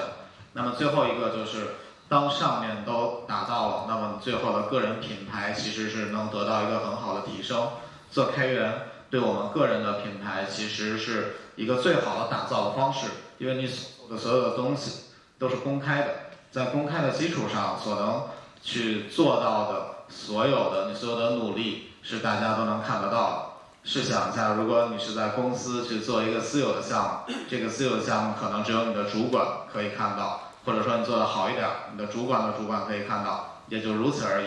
那么其实你的风险是相对来说比较大的，因为它是取决于你的领导是不是认可你所做的东西。但是如果是做开源，所有的东西都是公开的，其实你的风险是十分十分的分散，因为所有的人都能看到你的价值永远是在一个公开的平台去展现。那么在这种情况下，其实反而做开源做的越多，你的价值就会越高，然后你的风险就会越小，然后你的技术的路径就会越过得越宽。那么第二个就是除了职业生涯之外，我们所能看到的就是。其实通过做开源是能享受乐趣的。如果你不是真正的喜欢去做技术，那么你可能不应该去进入工程师这个行业。因为如果说只是为了混口饭吃，其实有的是行业可以去做。但是工程师行业是要发挥自己的自驱力和主观能动性。那么自驱力和主观能动性一定是因为你对这个事情感兴趣。那么做开源其实就能对你的兴趣达到最大程度的激发。你会通过开源去进行成长，然后会通过成长去获得乐趣，并且会通过做开源去达到一个成就感。你所做的所有的东西被人认可的时候，这个成就感其实是呃非常高的，油然而生。呃，下面我就介绍一下我们今天的主题，就是阿帕奇基金会。因为阿帕奇基金会其实很难用一句话去说明，而且我们今天的主席在此。所以说他一会儿肯定会进行更详细的说明，我只是截了一屏把阿帕奇的三百多个项放在这里。其实因为项目很多，所以说大家可能看不清楚细节。阿帕奇的项目其实非常非常多，我截了几个可能比较出名的项目。这个项目如果说大家是在工作中用 Java，基本上百分之一百二都用过。没有用过的话，一定是通过不了公司的面试。那么可以看到，不管是 Hadoop 啦、Maven 啦、Kafka、Tomcat、Skipper，呃，Cassandra 啦、Spark 这些相关的东西，其实都是我们工作中所必备的东西。也就是阿帕奇的项目，其实是占了我们真实工作中的半边天。那么后面会有一些来自中国的项目，这些中国的项目有的可能在阿帕奇的呃基金会待了四五年，有的可能是去年或者今年刚进去的，所以说这个可能没有完全的列全，但是大部分的中国的项目都在这里，所以说中国的阿帕奇的项目越来越多，这个他们这些中国的项目就会为我们中国的同学去参加阿帕奇的项目提供了一个非常有效的缓冲，因为阿帕奇的项目毕竟是国际化的项目，然后很多同学他可能没有是在硅谷这样的工这样的环境下待过，那么如何去快速的去加入到一个西方的社会，一个西方的项目的合作的手段，可能不一定非常的容易。所以说，通过中国的项目去做缓冲，而且这些项目其实是完全符合阿帕奇基金会的运营的相关的规范。但是会有更多的能说汉语的同学，然后和大家去交流，所以说可能会更容易的带着大家能通过一个中国的项目，然后进入阿帕奇的基金会，然后进而去发挥你们自己本身的兴趣，去做到更多。呃，前边的前文介绍完了，那后边我想去介绍一下，就是我所负责的项目叫 Sharding Sphere，它是一个数据库的中间层。这个项目只是我截的一个我们的官方网站的首页，它主要是为了做一个微内核的项目，也就是说内核其实是非常非常小，但是它提供了无限扩展的可能。大家听到这个，可能又听到了前面的两位讲师的分享，会觉得这个项目是一个天然的，可以让大家一起贡献的一个可扩展的东西。呃，这个项目先大致的介绍一下它的状况。呃，对外来说，目前有一百多家公司注册说他们在使用，但是其实使用的公司会更多，而且我们其实没有全部的渠道去拿到所有的公司都在使用的情况，所以说哪个公司愿意注册，我们就把它放到这里。目前有一百多家，然后涵盖了各行各业，也有互联网公司，有互联网金融公司，甚至还会包含一些企业服务和政府机关相关相关的公司。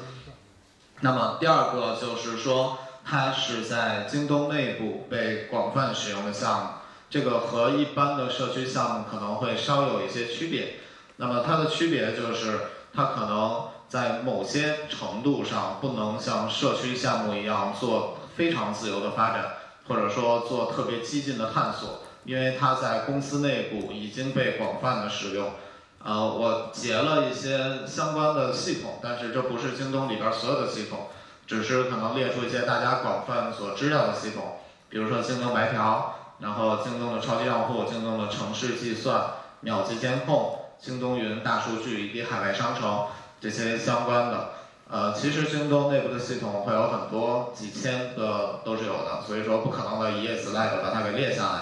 我想说的是。这个项目它是融入了外部和内部，所以说它是一个相对稳定，但是又要去满足外部需求、去拓展社区的一个状况。呃，刚才其实两位讲师都聊过，阿帕奇的项目其实不光是它的项目本身，它其实应该是一个项目加社区，所以说 Sharing Sphere 也并不例外，它是一个由项目加社区所组成的一个产品。呃，和大家去聊一下阿帕奇 Sharing Sphere 在进入阿帕奇的初期和在现在的一些数据对比的变化。第一个呃邮件的统计是加入初期应该是也不算初期了，是一九年的五月份的邮件的统计，可以看到其实邮件只有五十三封，然后参与的人也只有十四个。那么在九月份，当时截了一个屏，就是邮件已经有四十八个，然后参与人有三十四个，而且大家可以看到上边其实画了一个圈儿，那个圈儿的意思就是我们会把 GitHub 上的一些邮件，当时是放到了阿帕奇的邮列表，所以说其实大量的 GitHub 的邮件的出现会稀释掉邮件列表，而现在我们已经把阿帕把那个 GitHub 的邮件从阿帕奇的列表里完全摘出去了。所以说，它真正的就是阿帕奇列表的邮件。那么也就是说，大家真正的去做的一些讨论在这个里边。然后后边是 GitHub 的状态的一个变化。第一张截的图应该是在一六年到一八年，在进入阿帕奇基金会的前期。大家可以看，我也是画了一个框，画了框的意思就是大家如果仔细能看看，其实这个项目的整体的代码提交的过程和我个人的提交的波峰波谷其实是非常像的。所以说呢，其实应该看起来更像是一个个人的项目。而我截的到现在为止的最近的一个月的图里边去展示，其实我们一个月之内有十五个人分别提交了 PR。当时这但十五个人，并不是说他一共只有十五个人，因为十五个人是 GitHub 显示的上限。然后到底有多少人，可能就需要点到细节里边去看。那么我们可以看到，其实是。改的代码是有一万多行，然后加的代码是一万多行，删的代码是六千多行，还是一个看起来相对比较活跃的状况。然后并且 merge 了一百一十个 pull request，其实这个值已经相当的活跃了。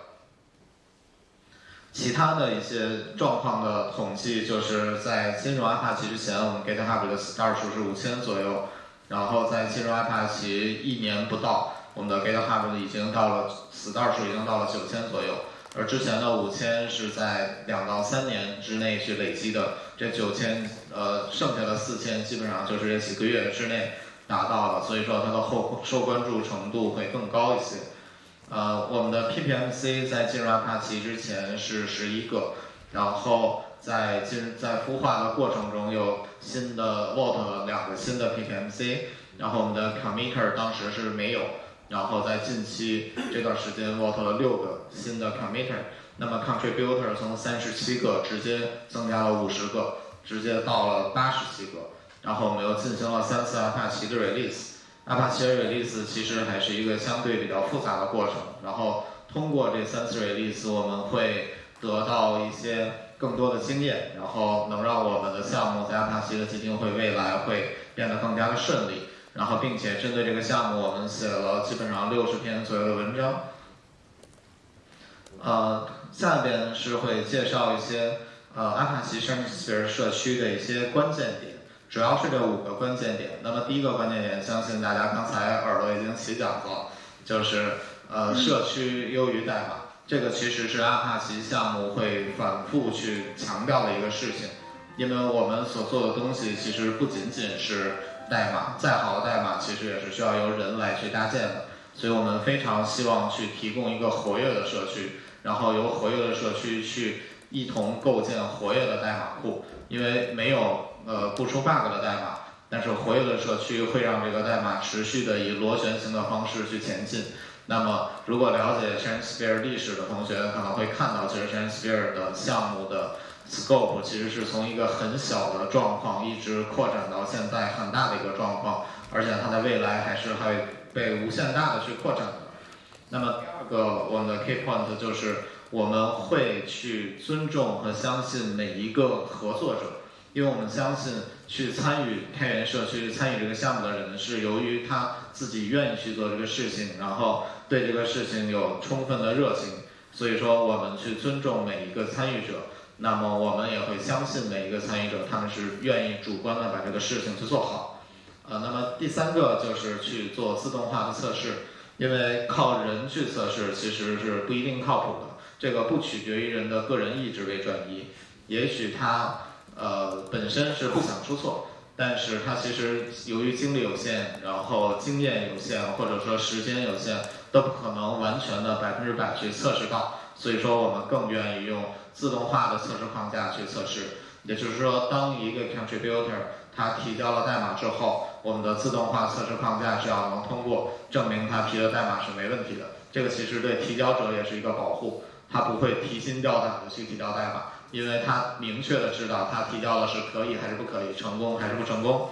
呃，第四个就是我们会创建一个自助的渠道。我们其实有非常非常多的用户，而每个用户都直接和我们的开发者去交流，其实我们是忙不过来的，所以我们愿意通过更多的自助的渠道，让他们能自己的去发现到底有哪些东西，他们可能能直接通过自己的方式去获取、去阅读、去提升。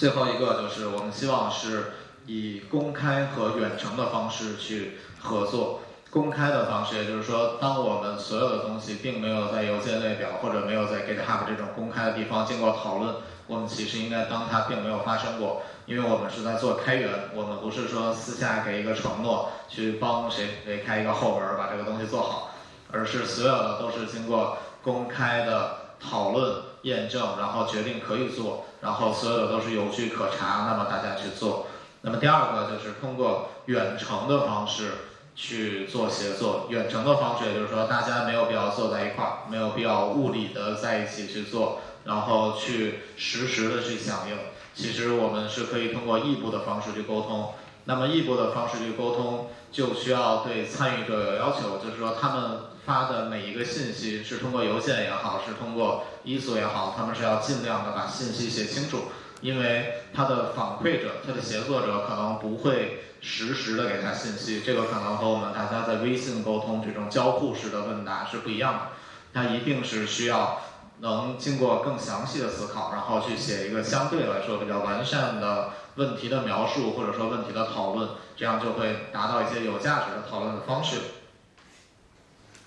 呃，我们的社区是一个持续的开放、维持开放心态的社区。这里我只是把社区的一些相关的功能举了一个例子，在这里不是要和大家去讨论技术，而是想去和大家说，其实社区的呃功能是非常多，然后我们也会持续保持开放的心态，去接收任何我们认为或者说大家认为有益的功能。大家可以看到这条绿色的线是我们的 Dev Branch。也就是说，我们所有的开发的 branch 的主干，其实在 dev branch 上的。然后上边是我们所有的功能，这些功能其实都是让大家可以通过自己的呃贡献提交，然后或者说是以 minor change 也好，或者说是直接贡献一个大的块儿也好，我们都可以是去经过讨论之后去接受的。那么下边可以看到，其实我们已经开了很多的 branch，这些 branch 其实各式各样的。有可能和主线相关，有可能和主线无关的功能。有 UI 的 branch 和 benchmark branch，我们已经呃结束了，就是已经合并到了主干，并且提供了正常的服务。然后现在开启的，比如说有相关的治理的更进一步的 5.x 版本的 branch，以及我们的弹性扩容的 branch，还有 Proxy 后端的高性能的 I/O 的 branch，以及各种各种潜在的 branch，其实都是可以完全开开放给大家。然后去和我们一起讨论去贡献。呃，后边说一下，就是社区其实已经有了，但是我们如何去评价一个社区的成熟度？这个是阿帕奇基金会所提供的一个社区的成熟度的模型。然后模型一共分成这么多块，都已经列出来了。时间有限，不可能和大家一个一个去解释。然后呃，每一个模型里边又分别有它的。项目，然后每一个项目其实是有相对你你的社区到底是达到了这个要求还是没有达到这个要求。如果没有达到这个要求，我们就可以按照这个要求往上去做提升的这个样子。呃呃，后面要说的就是，Shardsphere 社区在最近的一段时间进入阿帕奇基金会以后做了哪些提升，然后我们通过什么样的手段去让社区做到了快速的扩展。呃，也是分成这么几个方面去说。第一个方面其实是架构本身的扩展。我把这个架构图放在这里，其实也不是为了和大家去讨论技术，而是想说的是，Shining Sphere 其实是一个分层的架构，它的每一层的架构其实是很清晰的。然后如果有贡献者去贡献代码，它不会因为改了这儿而导致那块儿有问题，它不会是一个一团糟的状况。其实每一个贡献者他所看到的。他所参与的那个部分只是 ShineSphere 的一个非常非常独立的部分。他其实如果他不想知道，他可以完全不用知道 ShineSphere 的全貌，而直接就可以去做贡献。这个图可能看起来简单，那么下一个图可能就看起来比较花哨，没有那么简单。我仍然不想和大家去解释到底每一个部分都是要去做什么的。我只是想和大家说，其实它的模块是分成。顶级一层，然后第二级一层，三级，一共是一共三层的这样的一个拓展的模块。这模块其实有一百多个，那这一百多个都是完全相互独立的。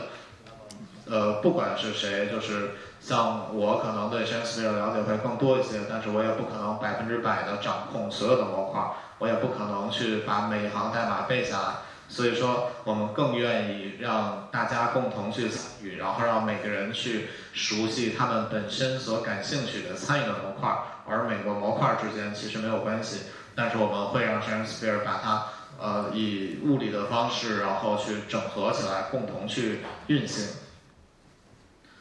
呃，下边说的是指导，或者说叫指南。因为如果有同学想去贡献社区，他其实直接去问我们，我们到底怎么贡献社区？那我们一遍一遍的去说，然后可能也不太合适，因为之前说的话可能没有后边说的话那么呃有价值，因为我们其实本身也是在进步的。那么一年前问我的同学，他可能以为原来是这样，他一年以后没有问我，但是一年以后问我的同学，可能觉得完全不一样。所以我们会把我们的经验全都落成指南，然后去开放到官方网站里边。所有的想参与我们社区的人，其实完全是通过这个指南能看得到。其实指南分得非常详细，呃，有如何去订阅我们邮件列表的指南，然后有如何去做贡献的指南，然后有如何去成为 committer 的指南，然后还有就是如何去做 release 的指南。刚才说过，其实做一次 Apache release 其实是非常复杂的，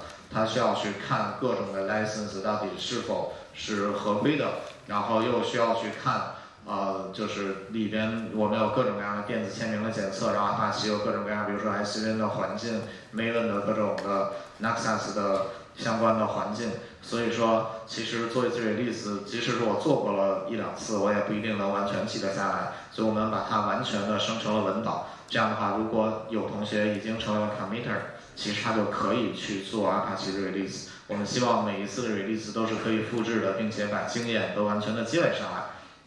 然后这些所有的东西其实都是落成在文档里的。那么这个文档到底该怎么更新？其实我们也有官方文档更新的指南。所以说，所有的想去贡献的同学都是可以从贡献指南里去找到他该如何去贡献。当然，如果想去贡献，直接联系我也可以。一会儿我会去分享一下我们的联系方式。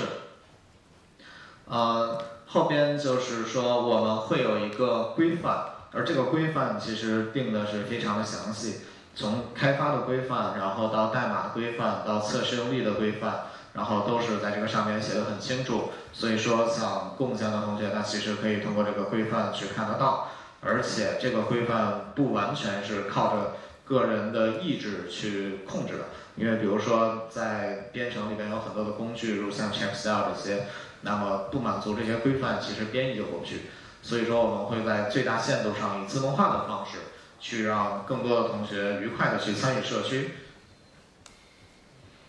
呃，下一个就是我们需要去划分需求的边界，因为刚才其实聊过 s h a n s p e r e 这个项目可能和有的社区的项目不太一样。它毕竟是一个从公司去开源的项目，在公司里边已经大量的使用了，所以我们不可能说把公司的项目让它变得不稳定。然后，因为刚才大家看到像京东白条这种还是比较重要的项目，如果挂掉一分钟，可能我赔不起这个钱的。所以说，是要把相关的东西弄清楚。我们会把项目的边界，或者说叫需求的边界，划分为公司的边界和社区的边界。因为其实我们公司的项目的参与者也是社区的一部分，我们代表的是我们针对这一块儿的需求所感兴趣，并且我们希望这一块的需求去保持稳定。而社区的需求，可能它有的需求是需要快速去扩展，需要去试验，需要去讨论新的技术。然后能快速的融进来，这些都没有问题。所以说，目前在我们去看公司的呃项目的公司的需求，尤其是 bug 这种相关的级别会是比较高的。那么社区相对来说，当然如果有 bug 级别也是很高，但是呃如果是一些新的技术方向的探索，那么我们会把它的优先级放到比较中等，并且希望留给参与者足够的时间、足够的空间，让他们可以去进行充分的探索。那么公司的需求当然是有 deadline 的。那么社区的需求一般我们都是会用 milestone，就是我们定一个里程碑。那么在这个里程碑呃结束之前，我们需要讨论好哪些需求我们是要讨论清楚要做还是不要做，或者说做到一个什么程度，那么公司的项目，我们呃公司的部分，我们尽量还是保持要稳定。那么社区的部分，我们当然是要保持完全开放的心态。所以说，现在有一点已经做得比较好了，就是我们其实有了比较稳定的版本。这个稳定的版本交给公司去使用，他们一般可能不会轻易的去升级。所以说，只要他们不升级，那么那个版本他们用就好了。所以说，新的版本其实是可以做一些很很多的技术的探索、技术的碰撞、交流这些相关的事情。呃，然后下面要说的就是我们其实有了一个。呃，多元的沟通渠道，这个多元的沟通渠道可能和一般的阿帕奇的项目，呃，不太一样。首先就是头两个是比较正规的，就是我们是通过 GitHub 去交流代码任务，然后它只是只能用英文，因为我们都是无国界，开源无国界。如果只用中文的话，就相当于我们的开源只能限制在我们国内的范围。第二个就是我们通过邮件列表，然后去发送一些通知啊，一些。决定相关的事情，当然也主要是用英文。呃，我相信在座的各位英文应该都是没有什么问题的。呃，所以说，但是对于微信和公众号，其实我们还是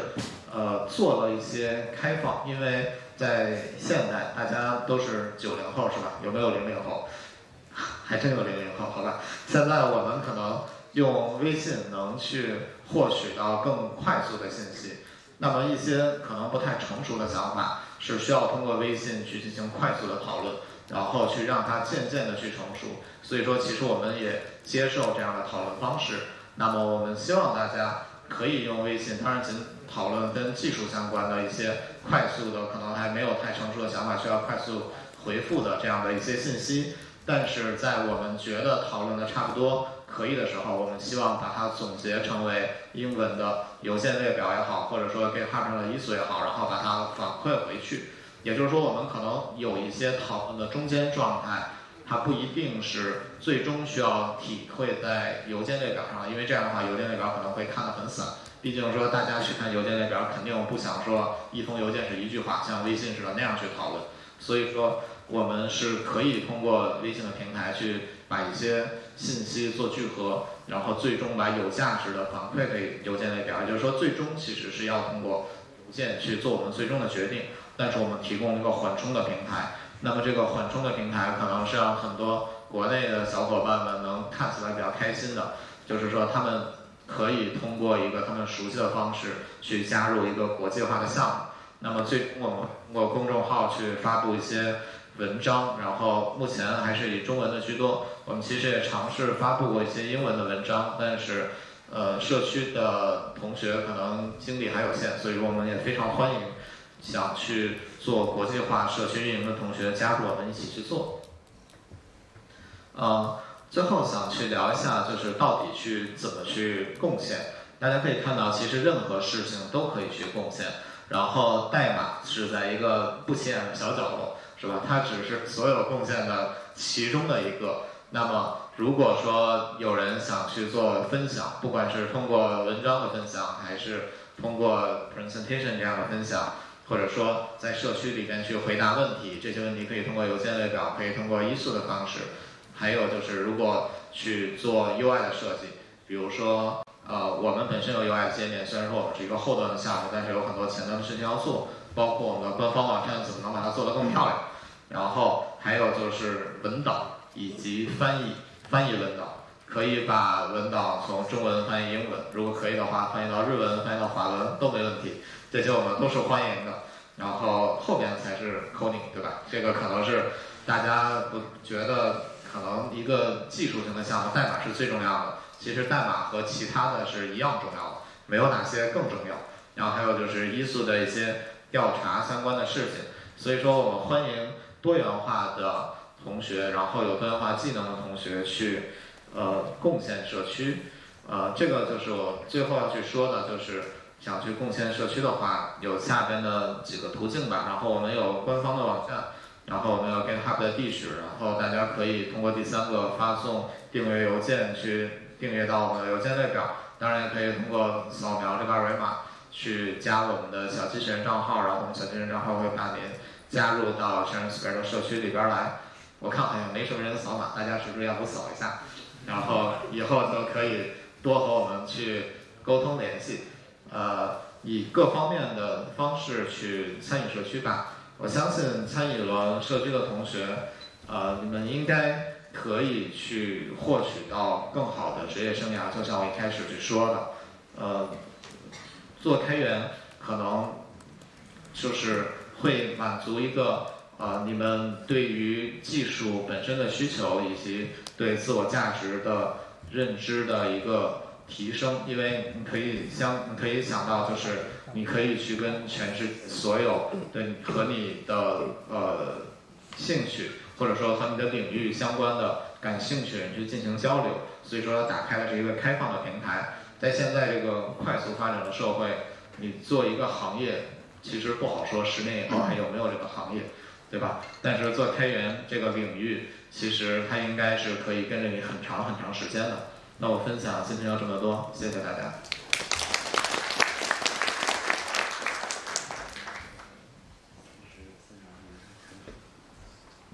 谢谢张亮。那沙林斯菲尔这个项目呢，其实和下面要分享的我们的阿帕 L 阿帕奇的 LTDB 项目其实有一点小关系，就是我们是先后一个月，他是十月份左右进到阿帕奇的，然后我们十月份进到阿帕奇的，所以很接近的一个那个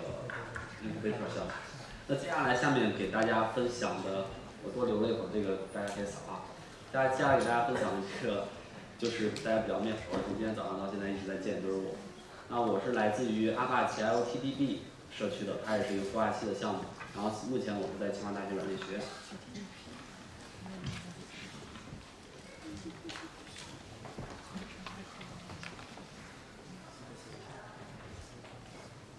那我的分享会稍微快一些，因为我们的时间比较短啊，我会大概压缩在十几分钟内结束。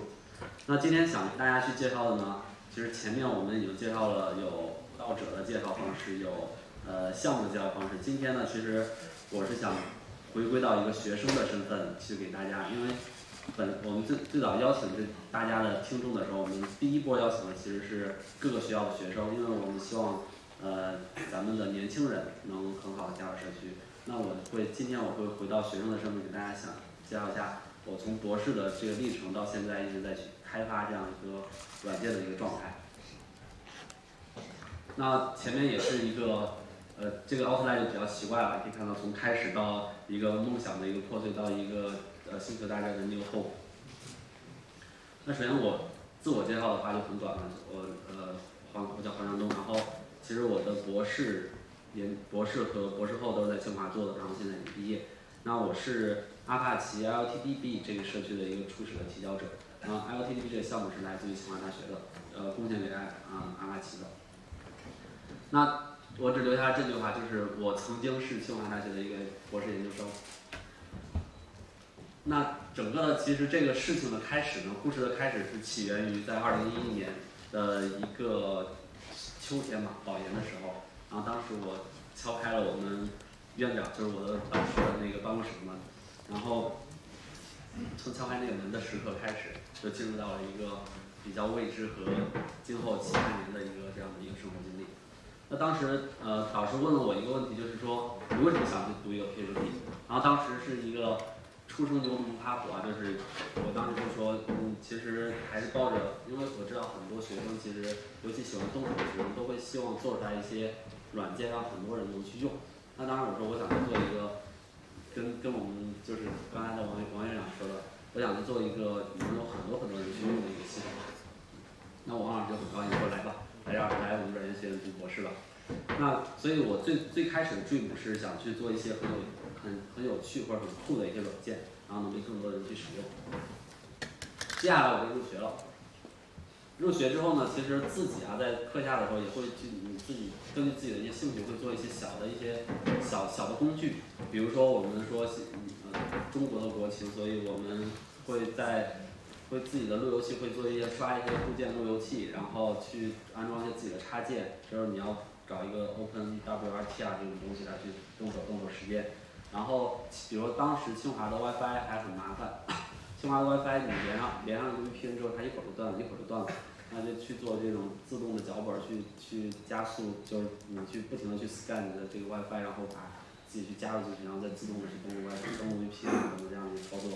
以及学了一点新的技术，就是想尝试，那就去尝试说，当以前的千线静听啊那些播音乐播放器，我能不能做出来一个这样的类似的东西？然后包括后面去学了一些分布式系统，我说 Gossip 怎么去实现一个分布式的系统，然后包括说后来我们说一些长按的命令行用起来非常麻烦，你要每次都要写后循环，然后我们写一些自动的脚本等等的这个工序。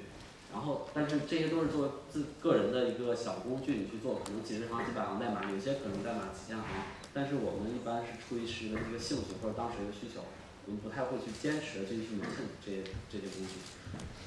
所以这个工具呢，当时做都是为了自己的个人兴趣，或者是为了自己的使用的。然后，这是作为个人的这个是这几年的个人一个开发者的一个角色。那作为一个学生呢，其实在清华有很多的课程，然后这些课程呢，这下面我列了随便列了两个大作业，就是清华的学生大作业。其实我们看到有些大作业呢，其实我们是不，或者有些是 homework，不一定是大作业，它其实不需要写太多的代码。比如说我们说看左下角这一个 data mining 的课上的一个作业，让大家去做一个呃，最最终做一个根据大家如何把它属性来判断你的年薪是不是超五十 K。可能我们如果了解，如果你学了一些机器学习算法，很容易就能做出来它。或者如果你了解，你会用 Mahout 呀等等这样的工具，可能二三十行代码加最多加上数据清洗，可能五十行代码就把这个作业搞定了。所以说，其实我们在很多的当学生的过程中练习的很多作业都是一些小算法呀，一些小的模块。那当其实像清华这样学校，它其实它有很多的作业，包括我们说北邮、北航的学校啊，其实有些课程是也是比较难的。比如说右边这一个现代数据库的一一门课，它给出来的作业就是让你去创新一个算法，把一个算法进行提升。它也不需要太多代码，但是它非常强调你的 innovation。所以你在这个过程中呢，你能去提升你的技巧，因为你可能要用马要用哈杜要用马 Hot，要用 Hive，要用 Spark，然后你要去学习各种各样的算法，把这算法进行一个实现。但是你也挺难的拿到高分的，呃，因为因为需要一些创新，才能拿到这样满分。但是说，其实你并不会写特别特别多代码，不会组织一个非常复杂的一个系统出来。并且我们作为学生的时候，我们知道我们有三板斧，可能可能现在也很流行，就是我做完一个系统，尤其大作业，最后我要去演示。演示怎么办呢？很简单，前面 Bootstrap，然后加一个 Django，加一个 MySQL，我把可视化，我把这个 Web，把后台的数数据服务全部搞定了，然后做了一个网页。那这个网页就是一个非常漂亮的 demo，让大家去使用。然后你就可以去答辩了，说，呃，你去在课上，你作为学生有有有有一个老师或者底下学生给你答辩说，啊，我这个 demo 如果想使用这 demo 的话，我需要先点这个点那个再点那个。但是如果这时候有一个 review，假设啊，一般没有人这样去问，说，哎，那如果我先点这个按钮会怎么样呢？其实这时候就说不，不要点，因为这是个 demo 系统，这个 demo 系统有很多的东西你是肯定一点就会挂的。那其实我们在很多就是其他的项目中啊，就是刚才那个杜总也在提到，当学生期间为了快速结束一个项目，我们不不太考虑代码质量的，所以会出现很多这样的事情。那所以其实我们在至少在过去的很多年里面，我们一直在作为学生的时候身份，我们一直在写 demo 写 demo 写 demo 写 demo。然后那其实我们从来没有考虑过一个大型的项目，它其实它结构非常的复杂。比如说，我如果我们拿 C 写的，你可以去看一下一些 C 的项目，它的 makefile 文件就就几百行，甚至更长。然后用用用 Java 写的，它的 home 文件啊，或者它的 grid 文件啊，都是很长的。那比如说右边是一个我们拿到的 Apache Plus4x 的这样一个项目的它的 home 文件，它的这个项目里面，它能同时编译出来 C、C 加加、Python 啊、那 Java 等等各种各样的模块，以及和一些硬件设备打交道。它的 home 文件呢，把它的整个的编译流程和代码的组织结构全部自动化了，所以会形成一个非常复杂，即使我们使用 Maven 也能使用的非常非常复杂和非常非常高级。同时呢，其实我们在上课的时候我们都去学了，包括我一一会儿会邀请的刘云老师，我们在给大家去上什么是需求工程，什么是项目管理。但是其实说白了，当时在当学生的时候，我们觉得那个课就是一个我去补充睡眠和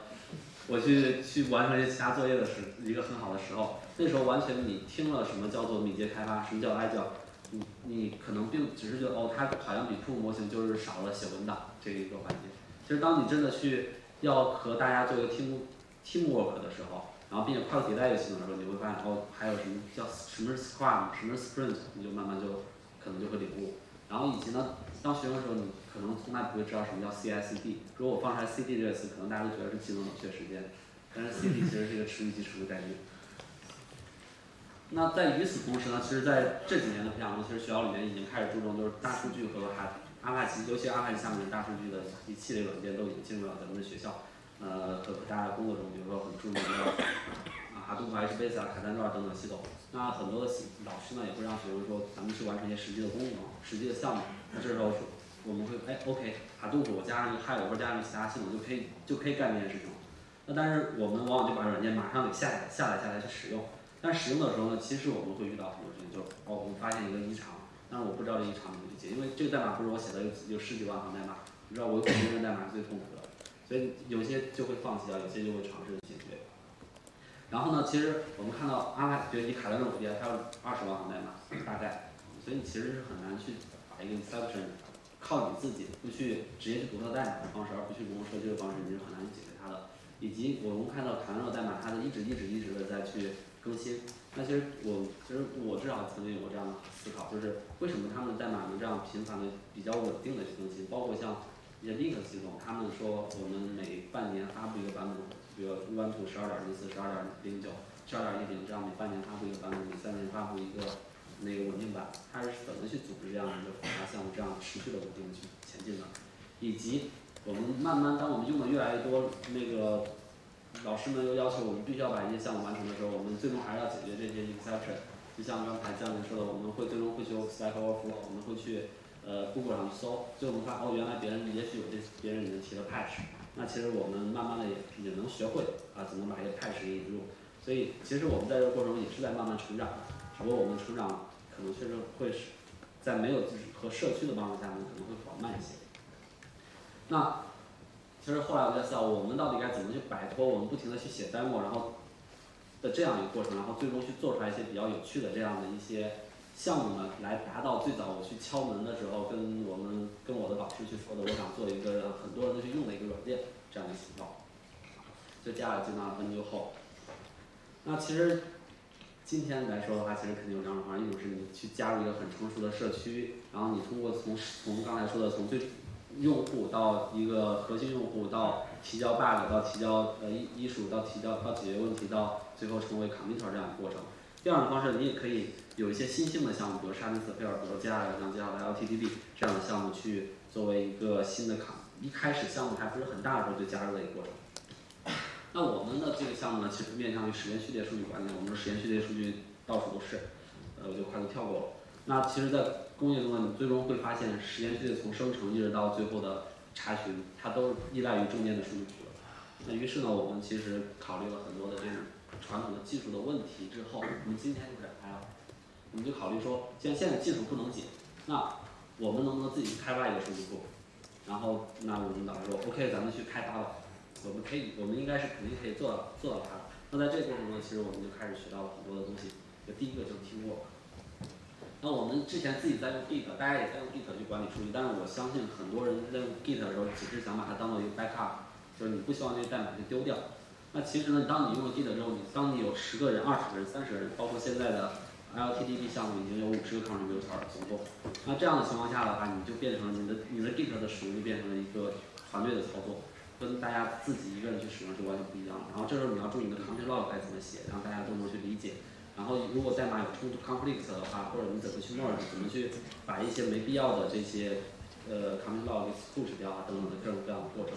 以及你也会有，你也会发现你的代码慢慢会分成很多的很多的分支，有稳定版的，有在在发布版的，然后有在开发版的等等各种状态。所以这样的过程让你能去使得你的代码慢慢能不再是一个几百行代码，而是一个几千行、几万行的代码。第二个呢，在这个过程中呢，你会慢慢去学到刚才别人怎么写 POM 的，我能不能照过来去写，或者有没有人教我去社区里面，其实我们是社区里面有我们的 mentor 来教我们怎么去写这样 POM，最后把我们的项目也变成一个有很多个模块这样去组织，稍微解耦开的，然后去组织的一个方式，一种完全自动化的方式，这样的话让你的软件能变得更复杂、更更加的强大，以及呢，你慢慢的你就说我为了让我的项目真的有用户去用，而不是说不要点这个按钮。每次用户用的时候，你要去说这件事情，那其实你就会慢慢引入 CI 和 CD 这样持续集成和持续部署的模式。那我们就会开始使用 Jenkins 啊、Travis CI 这样的方式帮帮助你保证你的软件的质量。和慢慢的你会在社区里面去做更多的交流之后呢，其实你会听到别人的一些想法，我们也会接到世来自世界各地的一些想法，来去打开你的这个思路，然后以及帮助你把你的这个编程技能和等等方式做得更好。那最后呢，其实作为一个高效的学生啊，我们说我们的软件有几种模式，第一种，第一种我们其实从用户在社区检查到用户的需求，然后把它实现，把它放到 LTTB 中，然后最终让用户能去使用。第二种，我们有一些比较前沿的想法，这种想法呢，我们可以把它实现，直接实现在系统中去做一个验证尝试。做验证尝试很好，也许你可以写一篇 paper，然后就它既可以发表 paper，也可以交给用户使用，或者是你本身已经有一篇 paper，那我希望这个 paper 不在纸上，而它它还能落地，那你可以把它给实现在我们的系统中。所以我们 LTV 不仅是一个开源项目，不仅是面向最终用户的使用，也是一个大家的一个实验平台。那通过引入这样，通过在这样 L LTV 中这样一个使用呢，其实我们从过去的一个只能写 demo，只能去做一些简单的这样的一个自己使用的小工具，变到自己能去写一个非常复杂的一个非常庞大的一个软件，以及能让这个软件真的能被最终用户去使用的这样一个。以及呢，我们在这个过程中其实会学大家如果真的加入进来的话，会学到阿帕奇的很多很多的流程，比如说我们的一次发布，其实刚才也提到发布很长，我们一次发布其实。我们第一版发布，第一版由我们来做的发布，做了将近一个月才把发布彻底完成，因为里面有各种各样的问题，包括我们去增新增一个 commit，我们发现我们投票啊等等的过程，整个也持续了大半个月才结束。所以其实里面你会学到很多很多这种国际上交流的这样一个大家都按规矩办事的一个情况是什么样子。那 LTD 本身呢，它其实是我会在两分钟内结束这件事情。LTD 本身它其实是清华大学。康就是贡献出来的一个呃高效的一个实验序列数据库，那我们也非常欢迎在座的各位都一起来进来去做这个做继续去呃贡献这个项目。那目前呢，其实我们有呃来自很多学校的，其实不仅清华，有复旦啊，还有安徽工业大学啊，还有一些西交利物浦大学啊，还有一些公司像温诺啊、深信服啊、卓信啊、中车啊、海尔等等各种公司的人也在里面，有些人是用户，有些已经提交了代码，给我们做了贡献。呃，这就 IoT 的基基础基本概念啊。其实你把它可以，它它是 database 的一个概念，那你可以写 SQL 去访问它。我们支持一些基本数据类型啊，你可以有一个你自己的一个控制台交给大家去让大家去使用。然后这里面的它里面会有它自己的一些核心的技术，我们就在此就不展开了，因为今天时间很多。那最后呢，你去基于 IoT 里会让你给你一个场景，你可以打通它的一个整个生态，从数据的产生到数据的使用。那最后呢，你会发现，如果好，当右上角我给了一个就是使用 LTTB 的，刚刚说到代码是最好的一种文档，是一个教程的形式的一个文档。就它的性能当然，高校做我们目标是性能好，但是我想说的就是，最终你把你的这样一个软件放在了很多的公司去用之后，你会其实你会有一种成就感，就是你会想，当你去，比如说你在上海去坐地铁的时候，你就知道哦，上海地铁背后的数据是由我们的软件去管理的。比如说，当你再去过两天，你双十一去抢购东西的时候，你就知道双十一抢购的背后是有山斯菲尔再去支持了京东的双十一的，所以这样的话你会有很大很大的成就感。那最后呢，我也会说一下我们的那个呃 Jonas，一个我们的 MailList 也是我们最主要的这个官方的呃社区。我们现在觉得呢，其实因为为了推广啊，我们认为其实是 MailList 里面大家有一些中文也没有关系。那我们的作为我们的 initial committer，我们会把它进行一些翻译的。就是让更多的人看懂，然后那尤其是 bug，我们因为中国的我们就咱咱们本身不太喜欢使用 bug，所以我建议，呃，这个艺术的管理呢，我们也可以用中文，当然大家也可以推荐英文。那我们现在有一个计划，就是我们希望我们的 LTDB 的社区建设，我们会邀请更多的开发者和用户，还有学生们都希望他们大家加入到这个社区中，包括大家如果想去做毕设，想去做实习。都可以进到我们的项目来中来去做，那我们会帮你们把从你们从学生的状态，让它变成一个类似公司化，这样把你们代码变得有很高的质量的这样一个状态。以及呢，我们同时也欢迎外地的一些学学生和开发者，呃，加入到这个项目。同时，我们在之后会慢慢举办，至每年至少一次，会把他们邀请到北京，呃的这样的一些 meet up。那我们的官方网站，因为我防防止大家记不得，所以所以做成了一个那个二维码。右边呢是我们钉钉群，也是一个用户的交流群，啊，因为没有放微信群的号，因为微信群到了两百人之后需要要就扫码就进不来了，那呃欢迎大家去关注钉钉，或者是在我们的官网上去加入我们的 mail list，来去呃未来进一步的去融入到 LTB 的社区中。那我们也希望 LTB 能见到大家更多的、更多的这个面孔和这个合作。这是今天的这个大会的一个这个参与者的一个呃二维码，那大家可以扫一下码，因为我们今天其实给大家重点是去组织，重重点是给大家去组织说给大家介绍什么是阿帕奇。那我们在之后呢，其实我们会慢慢的考虑定期的去举办一些阿帕奇的 project 的一些偏技术一些的这样的一些分享会，可以在群里面方便的通知大家。好，那我接下来我的汇报就快速的，呃，当然也用了将近二十分钟，快速的结束了。那最后一个我们就要隆重的请上，呃，最后一个做发言的一个嘉宾，就是我们的呃阿帕奇基金会的 Chair Craig 先生。Craig 呢，他毕业于哈佛大学，呃，他曾经就他曾经就职于萨姆斯 Oracle 公司，并且专注于数据库的 API 的设计。他在萨姆公司主导了面向 Java 语言的数据库关系对象的映射，并且把 Java 语言的负责 Java 语言的 GSR 呃幺二二四三的国际标准。他在二零零七年成为阿帕奇孵化器的 IPMC 和阿帕奇的 Member，从二零一零年起成为阿帕奇的秘书呃秘书处的呃秘呃秘书基金会秘书长。从二零一九年起呢，阿帕那个 Craig 成为了这阿帕奇的 Chair。然后我们欢迎阿帕呃 Craig 给我们来介绍 What is 阿帕奇 Way。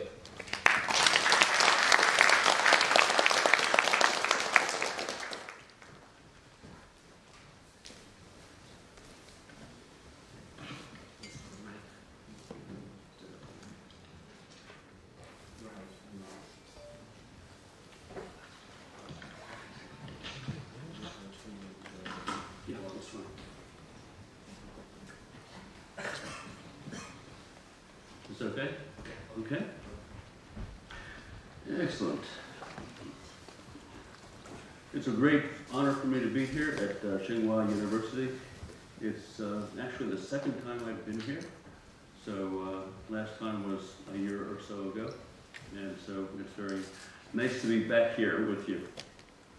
Um, this is going to be a brief overview of how Apache works and why it works the way it works. And um, I'm using English because my English is um, better than my Chinese. And in fact, your English is better than my Chinese. So, so I think we'll, we'll get along just fine. So um, I'm not sure how much of my introduction you have already heard, so I'll just be brief. I'm a software architect.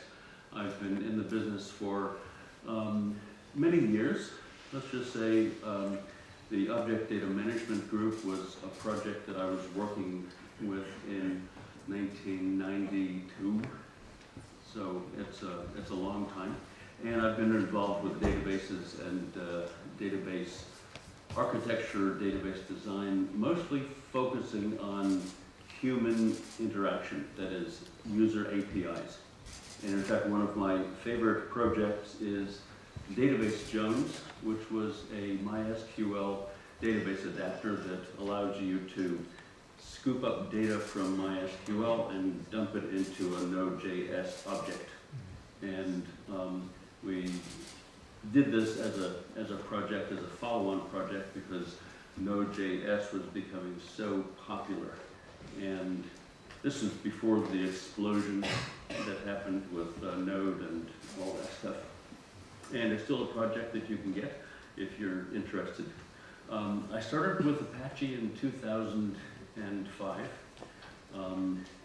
Sun Microsystems decided to donate JDO, Java Data Objects, to the Apache Software Foundation, and I came along for the ride. Um, I started with a project and I stayed for the community. Um, actually, JDO is still a project in, in Apache, and we're still developing it. We're still moving the project forward um, over time. So I'd love to see you there at, at JDO, but I'm not going to hold my breath either. Um, I decided to contribute more to Apache than just technical, and um, became the Apache secretary in 2010. And I did that for 10 years, and then just last year, actually this year, um, I was elected to the chairman of the board uh, by the membership. So enough about me. This is about you. The Apache Software Foundation is the largest open source foundation, and the mission is to deliver software to the public for the public good. Free of charge, no licensing fees. And so we, we do this as a, as a charitable organization. So we are a charity. Um, officially, it's a called a IRS 501c3, which is a lot of mumbo jumbo, but this distinguishes us, Apache, from things like the Linux Foundation, which is not a charity. Linux Foundation, it's an, an organization with members, corporate members, and Apache has no corporate members. Apache has a number of communities, but no corporate membership. We have corporate sponsors, but not members. So what we do is um, we provide a neutral space for projects. We're very project oriented. And so what we provide is the um,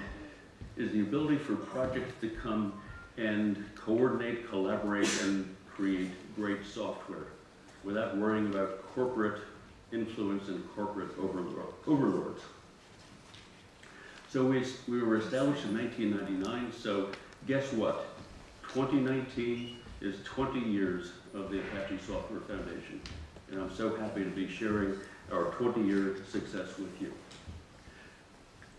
Here's a lot of, lot of stuff all at once. The, um, this is a, a, a list of most of the Apache software projects. And I say most of because every time we create one of these graphics, another project comes in and, and uh, so now we have one more and now we have to update all the graphics. And so you may notice that um, in the incubator, the incubator is where projects start at Apache. And the incubator, we just need to update the, uh, the slide there with two new projects. API 6 uh, just came in a couple of weeks ago. And our most recent uh, project isn't listed there either. It's the um, uh, TubeMQ. So the next time you see this slide in a future release, you'll have those two new projects on there as well. I'll just point out um, some of the activities. When, when I joined Apache in 2005, there were about a thousand committers, and now in 2019, there are over 7,000 committers. So we've had a pretty, pretty significant and pretty steady growth over those 20 years. The first project at Apache was HTTPD. Let's see, how many of you know that you're using HTTPD every day? Anybody? Okay. The rest of you, you are. okay. You just don't know it. Um, because over half of the internet is driven by Apache projects, and HTTPD is one of the one of the first ones. So um, this uh, this this project was the beginning back in 1995, and the success of that project, the 21 original members of the project, um, then decided to create a foundation to organize themselves. So here are some things that Apache does. This is a very brief list with over 350 projects. I can't possibly list them all. But we do artificial intelligence, and I think we're sort of leaning away from that term. It's uh, machine learning or deep learning, just to remove it from the prospect of um, the robots taking over the world, which I don't think they're going to, but we really have to be careful. Very careful. Um, we do the Internet of Things. You just heard a little bit about IoTDB and Sharding Sphere, which are all part of the ecosystem that will deliver um, the future of the internet. We do big data. Of course, Hadoop is a significant part of what makes Apache Apache. If you look at Hadoop and the ecosystem that has been built around Hadoop, it's very, very impressive. We now do financial management, and in fact, one of the projects in financial management is really focused on bringing banking to the unbanked and underbanked. People in um, situations where they can't really afford a lot of money in a bank account, they still need banking services. They still need credit. They still need to organize their, their household finances. And um, so the project uh, Fineract is devoted to um, assisting banks and assisting foundations in providing banking services to these underrepresented people. And what, what modern speech would be complete without a mention of climate change? So I'm a believer in, in climate change. It doesn't matter whether I believe it or not. It exists. We have to worry about it. And there's an Apache project that is uh, focused on. That brings us to what is not an Apache project that you might be interested in bringing something into, a, um, into Apache, the robot apocalypse, which is where the robots take over everything. I'm personally looking forward to this because um, I think I'll be one of the masters of the robots, but um, other people may have a different idea. Autonomous vehicles, we're not quite ready to do that yet. Um, I think the commercial space is pretty well full of autonomous vehicle activity. Interplanetary exploration, don't do that. And blockchain, well, forget that. We now have a blockchain project in Apache, and uh, feel free to check that out. It's called Tuini, and it's in the incubator, and it's going away, going along. So what does Apache do? Apache provides project governance. So as a member of the, of the board, my main job is to provide oversight over all the 300 plus uh, projects. But each one of them is run independently by its own set of project management um, committee members. So how does the Apache Way work? Um, here are some principles.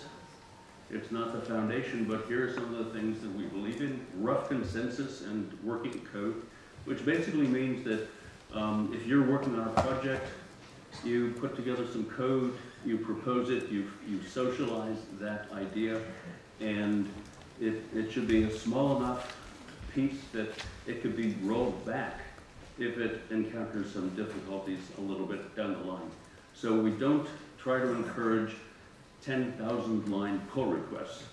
Those are a little tough to do unless they've been developed in a branch with full transparency. so um, we believe in contributions from people and almost anything that you do to interact with a project we consider to be a contribution. So what does that mean? Um, if you send a request or a, a, a, message to a mailing list, that's a contribution, assuming it's not spam, assuming that it's actually a, a reasonable thing to comment or to ask. Um, and why do we consider a message sent to a mailing list to be a contribution? It's because um, what the request is might indicate something that you don't understand about the, about the project, which might mean that there's a deficiency in the documentation. And if you don't understand something, you ask a question, that's a signal to the developers that maybe the documentation needs to be improved. So it doesn't take the form of you have to file a, a, uh, a GitHub issue to get your question answered. You just ask the question, it gets answered. So um, if you've been around a project long enough, sometimes you're the one who will answer the question. And that answer is also a contribution. So these are non-code contributions, but they're very important when you're establishing the community. So we believe community is very important. So that's what we mean. Any constructive contribution allows you to earn merit in the community. Merit doesn't expire. You can come into an Apache project, work on it for a while, then you, you go away, you, you have, uh, have some personal um, things going on in your life, you get married, you have kids, you do move jobs, change. Your merit that you've earned doesn't expire. You can come back to that project later on and you're welcomed as if you never left. So merit doesn't give you authority, although if you have enough merit, you can positively influence the direction of a project. And does anyone know what a BDFL is? We use that term a lot. It's called, it's called benevolent dictator for life. And sometimes projects come in where there's a single person who sort of drives the discussion and drives the direction of the project. That's not the way we do things here. So here are some of the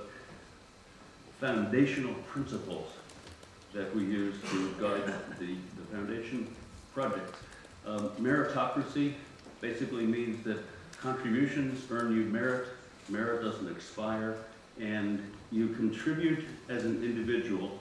Doesn't matter who you work for, doesn't matter if you have a job or not. Personally, I don't have a job, except for Apache. That's, that's my job. Um, it's a volunteer job, but it's, it keeps me busy. Um, other people have day jobs, and sometimes their employers pay them to work on Apache projects, and that's perfectly okay with, with Apache. But the fact that you work for some big company doesn't give you any more say in the project. And that's really an important distinction between Apache and some other foundations. We believe in individual merit. And so if you change companies, your merit goes along with you. You don't have to continue to work for the same company to continue to have, have the respect of your peers. Transparency is um, a very important part of why Apache is successful. Um, every discussion, every line of code that's put into the repository, every pull request is done in the open. And it's archived on mailing lists, and it's searchable. If you want to see what is going on with Hadoop, mm-hmm. you, you want to say, well, what was Hadoop doing back in, in 2014? Well, you have the ability to go into the mailing list. It's, a, it's an open archive. The discussions are open. You can search them using an Apache tool. It's called list.apache.org. And you can find out all the discussion about any feature that was being discussed at any point in time from when it was started to the present. That's transparency. There's no secret behind the door meetings. Everything is decided in the open. Um, community is the most important part of Apache. So the code is nice. Um, there was a very, very nice quote from Doug Cutting that you saw earlier, that um, if you have bad code in a good community, you can fix it. If you have bad community and good code and bad code, nobody's going to care. That code is going to die. So that said, Apache isn't the best solution for everybody, for everything. So as a result of these principles, what the Apache Way has produced over time is vendor neutrality. You don't have any single vendor dictating how a project is going to evolve. It's a community process. We have diversity. Everybody is free to share their own opinion about almost anything. And that opinion is going to be respected based on who you are. Trust. We have established ourselves as a neutral repository for companies and individuals to put their code and trust that Apache will take care of it, according to the Apache way. And safety basically means that as a contributor, any code that you contribute to Apache will give you a legal shield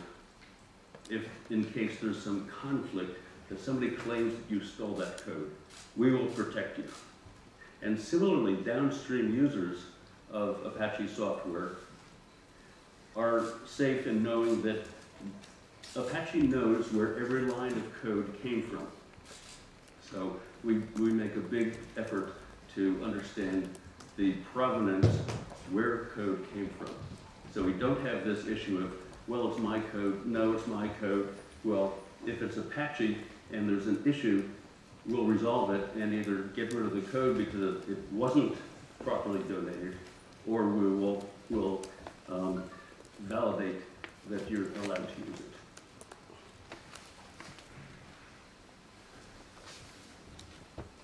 These are just some charts showing the evolution of, of Apache over time. The lower right-hand corner, the download activity, shows a real burst of activity from China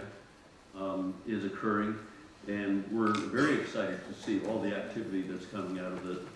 the uh, Chinese internet. Um, a lot of activity there, second only to the U.S. in terms of, uh, of activity. So um, China and development in China, open source in China, is becoming a very big thing. So this is a, um, a short list of the sponsors that make Apache uh, possible. And if you're looking to donate or to buy some products, here's a good, a good list to, to start from. So finally, I'll explain a little bit about how you become an Apache project. Um, why do projects come to Apache? One is corporate citizenship. Makes corporations feel good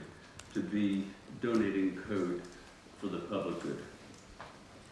Maybe that's a, um, a, a big, um, a big factor, maybe not so big. But um, certainly higher quality. If you have one team from one company working on a project, and then you say, well, how can we get more testing? How can we get more user experience? How can we get more eyes on the code? You make it open source, and now everybody can see what's going on, and they can contribute to the project quality. Um, if you have a project that you think is important, but you're not sure that you can develop it all by yourself, either as an individual or as a corporation, we get a lot of code donated from, from corporations. It's, it can be easier to work with competitors on a collaboration instead of fighting over everything. So there, there may be part of your code that, that is, is suitable for making open source, and then you have some extra code that defines your company's um, extra sauce, secret sauce, if you will. That's your competitive advantage. There's also the opportunity for what we call free training. And free training is people will look at the, at, at the, uh, the project, they may develop materials for it, um, they will at least answer questions. And some, some of the question answer is um, archived, and you may look at it as a frequently asked question. So if you have a question about something, you can get the answer from the mailing list. And we've already talked about legal protection for both contributors and for downstream users of the, of the project. So the Apache Incubator is the official way that code comes into Apache and communities are adopted by, uh, by Apache. Um, mentorship is an important part of this. A mentor in Apache is someone who's been around for a while and can help the community grow inside of Apache. And here's a brief list. You saw this earlier, and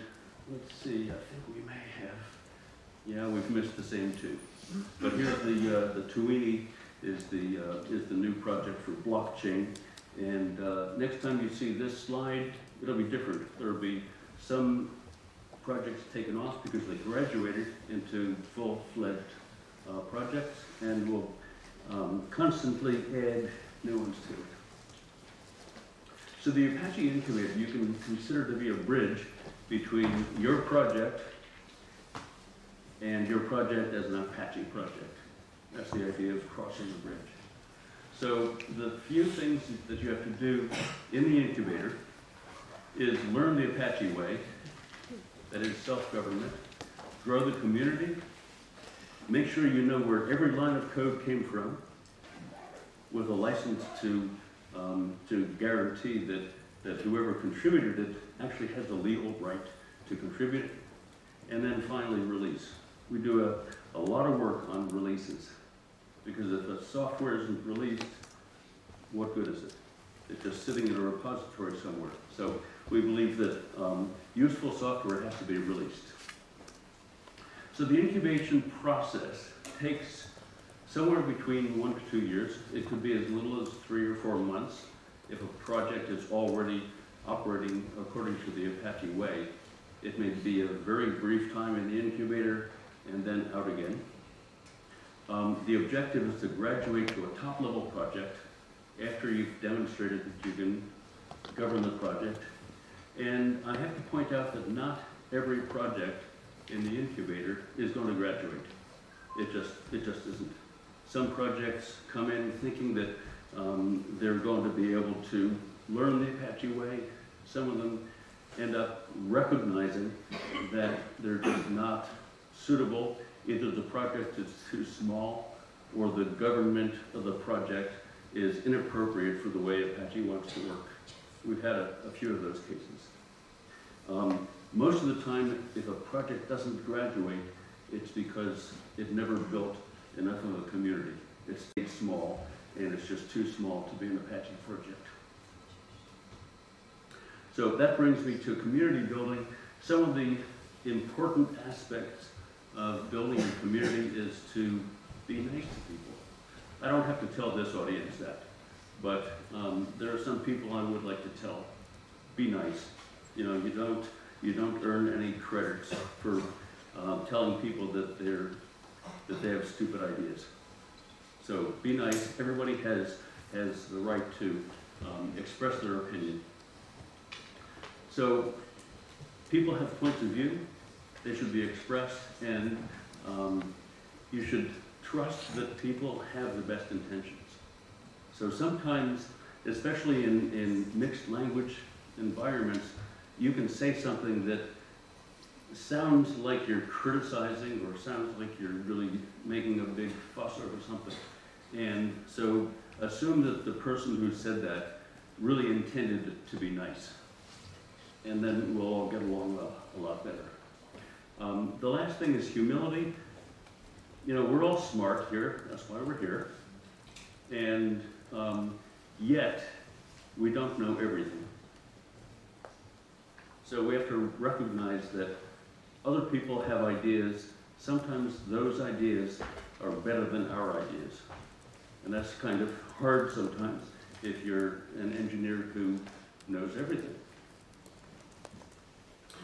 This is probably the most difficult thing to get done in the incubator is licensing. Provenance is the process of establishing where every line of code in your project came from. Who wrote it? When did they write it? Do they have the ability to donate that piece of code to Apache? And when I say donate, it's license. Um, it's somewhat of a, of a um, minor point, but when you write code and put it into Apache, you still own that code. You wrote it, you own it. Now, some people have employers paying you to work for Apache, and that, that employer needs to also agree that the code that you write can be licensed to Apache. And there's a separate license agreement for those kinds of contributions. Trademarks is basically your, those little logos over there, those represent trademarks. And Apache is a trademark. Nobody on the internet can say, I'm an Apache project, unless they actually are an Apache project. And we take these trademarks very seriously.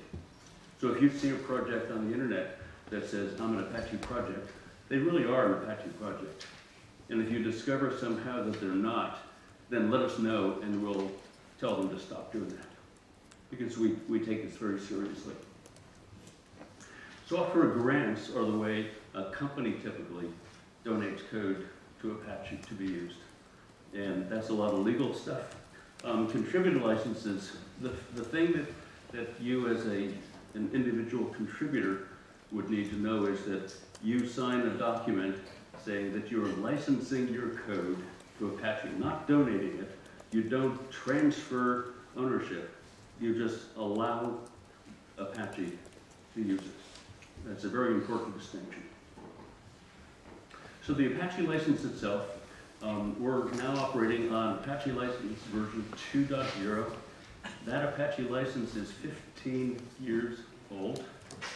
So it's a very un- well understood license. It's been looked at by thousands of lawyers. I don't know, maybe hundreds of thousands of lawyers have looked at this license and said, that's a great license. so it's a very pragmatic license also. Um, universal donor means that, that you can accept an Apache project into your own project, no matter what kind of license you want to use. We only require that you acknowledge that you're using an Apache project. Um, and it's free for commercial and non-commercial use. We don't distinguish, we don't really care what you do with it. And it's very compatible with a large number of other open source licenses. And just briefly, licensing allows an Apache project to use components from outside the organization as long as they are compatible license. I'll just mention MIT and the two and three clause BSD are perfectly fine. There are some um, restrictions on the list, the category B lists. Um, mostly it's that you can't include the source code, but you can depend on it as a, a runtime artifact. And then category XR, stay away from those. Release distributions is probably one of the most difficult things to do because this is an act of the foundation. The foundation stands behind releases, and so they really need to be very good and satisfy all the requirements. Um, one minor note, the code doesn't need to work. Now you may be shocked. Doesn't need to work, what good is it? Well, um, I recommend that as soon as you come into the incubator, the first thing you do is make a release. To demonstrate that you know how to make a release, even though the release doesn't work, has lots of bugs, lots of issues, but just get that code out there. And distributions are, are required to be authorized by a project management committee. This is part of the legal, legal government, uh, governance of a project. And releases in detail, um, they have a license and notice file. If you look at a GitHub repository, you will find license and notice files, typically at the very top level of the project. And the license tells you what licenses are used. Notice um, gives you a list of legally required notices, such as the one that Apache says you have to acknowledge that the source came from Apache. Binary releases like Maven repository releases, um, things like Docker, Docker images, those are binary releases because they don't require a build process in order to use them. And then finally, if you've succeeded in doing all these things, you're allowed to graduate as a top-level project, and you can call yourself an Apache project without any, any uh, disclaimer that you're still incubating. And all you need to do, all you need to do is to demonstrate that you know how to govern yourself, because quite frankly, the nine-member board can't look at everything that you're doing. You've got to be able to manage yourself. You need to be able to make a release, and you've got your legal framework organized, and as a result of this, you're allowed to make a press release. So good for you. Um, and with that, I will just leave you with, if you're looking at, well, how can, how can Apache afford to give software away? Where's the money come from to do this? And the money comes from sponsors. Sponsorship is a very important part of what makes Apache work. We don't expect anything but money from sponsors. In fact, we don't want anything but money from sponsors. But there, that, um, that sponsorship makes it possible for Apache to do what we do. So I hope you um, will take note and uh, find an Apache project that you like, and maybe it'll become an Apache project that you love. Thank you very much.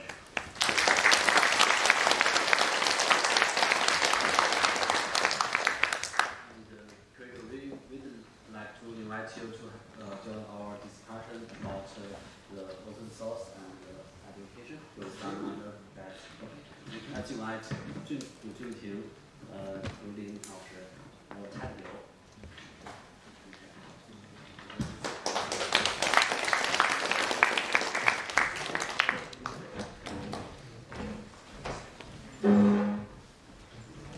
呃，接下来我们邀请呃同学杜俊平，还有清华大学软件学院的刘林老师，还有呃 Craig，还有泰格刘来进行一个关于开源和教育的简简短的一个对话环节。然后由由于刘老师和泰格刘是第一次上台，所以我们我们给他们 one minute to introduce yourself。呃，either English or Chinese，OK OK。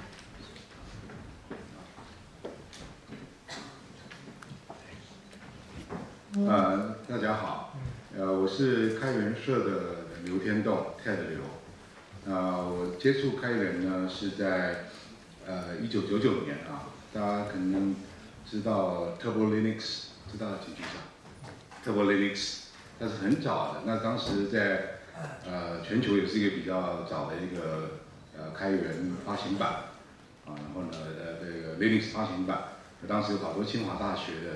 呃，小伙伴们也在参与。那么开源社呢，是我们是在二零一四一四年十月成立的啊，那是国内呢现在第一个，呃，也是现在就算是呃在国内国家也比较认可的三大开源组织之一。那我们呢是呃也是的草根性的，就是在呃完全是非盈利的，呃纯公益的。呃全志愿者的一个开源社区，啊，那现在我们这个呃成立这五年以来，那呃举一些比较大家可能比较清楚的，就是我们在这过去五年，呃，二零一五年我们办了第一次的，在我们自己哈办了第一次的阿帕奇中国路演，啊，当时是在中科院，啊，后来呢就是每一年呢，在我们都在大学里面办，那今年呢，呃，二零一九年是在上海，呃，华东师范大学办的，那这个是。明年呢，希望能够继续在大学里面来办。好，那这个简单的报告，大家可以欢迎到这个呃呃微信公众号去找开源社，或是微博里面就是开源社的两个字。好，谢谢。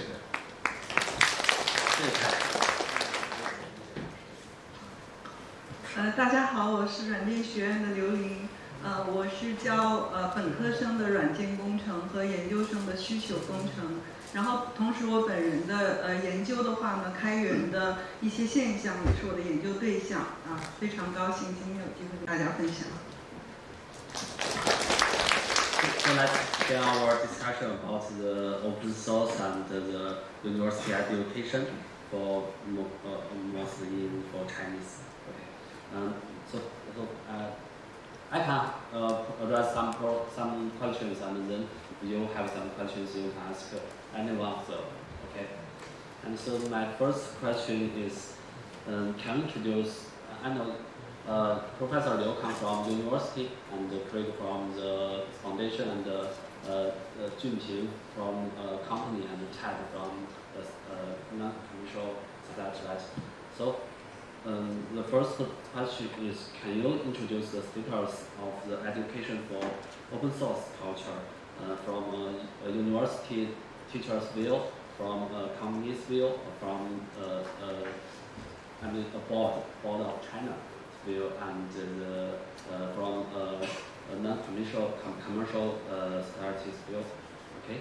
就是大家可以，我们希望希望在座各位嘉宾来分享一下，从大学的视角，从公司的视角，从基金会的视角，从这种非盈利的社会团体的视角来去介绍一下他们认为，包括从国外的视角来。这个开源和教育之间现在的现状是什么样的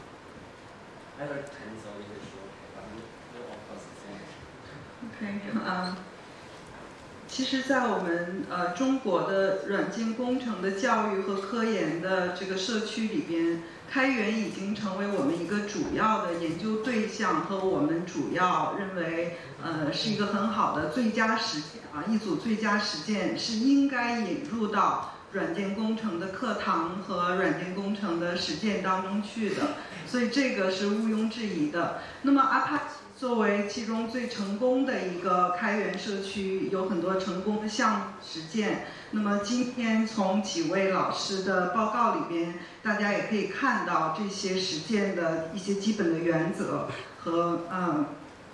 呃，作为我们新的学生的话呢，我觉得是应该从中间呃借鉴其中的呃许多的成功的经验。那么呃，我要对同学们说的其实是有两个方面。一方面呢，就是说呃，你要看到啊，经常我们会软件学院的老师经常会问，哎，你们和 CS 有什么区别啊？其实这个就是一个非常显著的区别。呃，CS 更强调的是 theory。然后我们更强调的是 practice。那么 practice 的话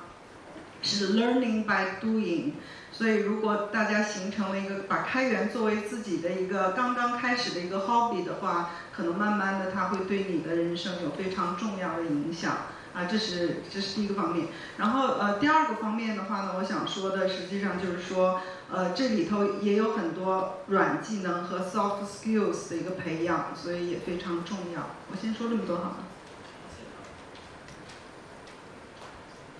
那我就看一下，就是聊一下从那个 enterprise 从那个企业的角度来看。那我觉得现在，嗯，中国的这个教育，其实不光是中国教育，可能全世界范围内对于开源教育还不太够。就关于如何去参与，呃，更好的参与一些开源项目，我觉得可能都是一个属于一个起步期。那即即便在腾讯内部，在公司内部，其实也是需要一个在教育的过程。即便是很多人工作很多年，他的技术技能是足够了，但是他的有些 soft skill。包括他的英语的能力，怎么去跟，就是呃全球的这样一个开源社区怎么样去沟通，怎么有效合作，其实都需要一个过程。其实我自己因为有一些多多年的一些经验，所以我在内部公司的内部也会去推，也会去推动一些这种 education，就是内部的 education。那我也是希望就是说教育不管是清华，不管是北大我的最好的这个学校，应该更更多能产生这样的人才。其实我们的硬实力是够的，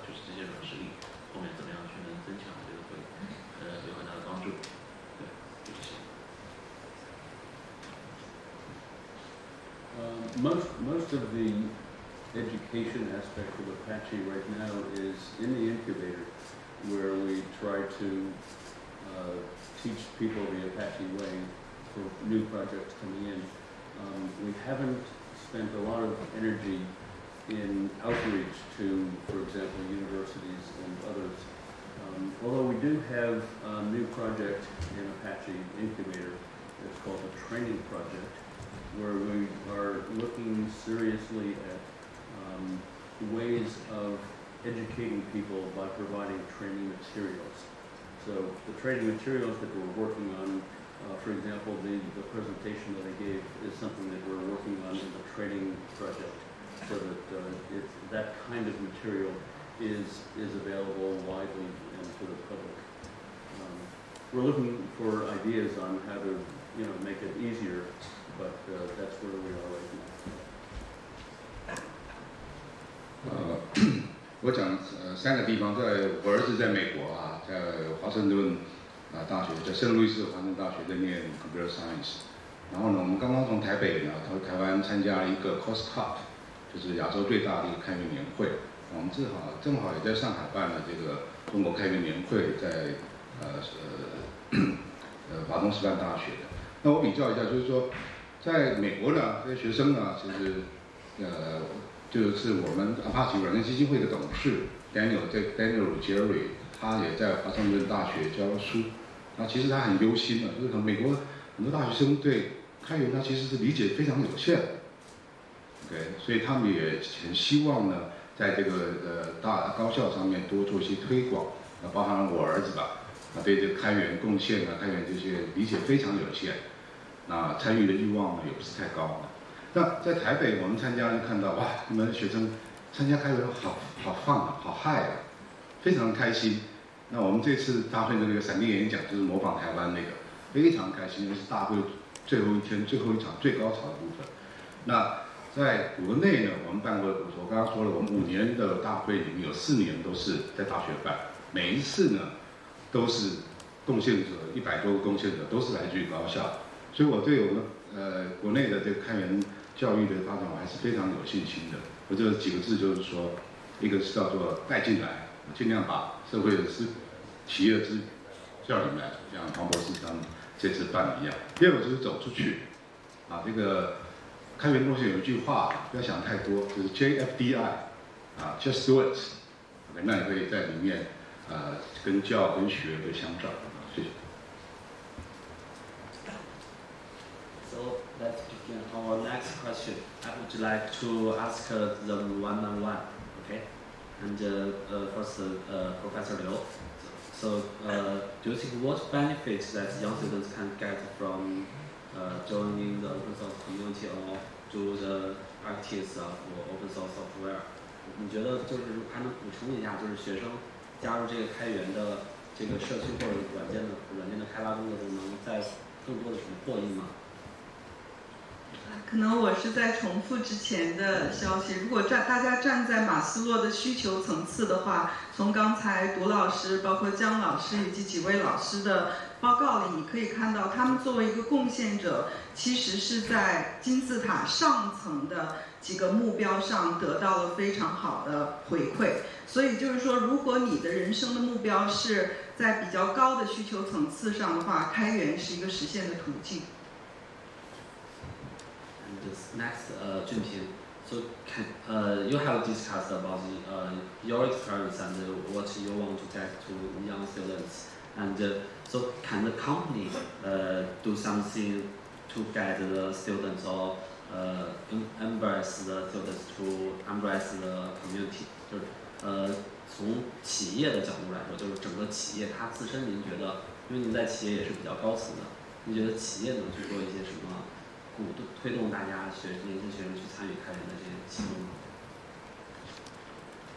我觉得第一点就是是像这样的活动，我觉得企业可以多做一些赞助，或者多做一些这个资源支持下来。这是这是第一点，因为我觉得这个传道授业解惑嘛，就是大学里做的事，其实企业也要参参与进来，把我们的对开源的理解，把我们的技术实际中采用的技术都给它描述清楚。因为很多时候，呃，那开源界的技术是一回事，但是在企业落地，在面对这种生产值的实践、创造利润的时候，利创创造这个这种生这种生产条件可能又不太一样，所以有些新的技术呃会创会创造出来。所以第二个事情可以也可以做的事情有很多，有些职位像这种 Q M Q 这样的类似开源项目，其实欢迎大家去参与。呃，一方面是大家就在在自己的课程的时间去参与，一方面大家如果有时间去实习，那可以大家也欢迎到腾讯或者类似的企业，我觉得可以我们会创造很多这样的实习机会，毕业工作的机会去做。就是因为这样的话非常好，过过渡的非常平顺。你在学校里做的事情，你开始做这个项目，对吧？然后你一直到你的毕业之后，这这个这个工作可能非常的平，整个的呃过程非常自然，可能也让大家可以更专注于这个某个领域的技术的一个研发的一个工作。我觉得我能看我能想到就这两这两点是，就是企业应该很快就可以去做的。然后第三个点，我觉得是，当然不仅是对高校方面的学生，就整个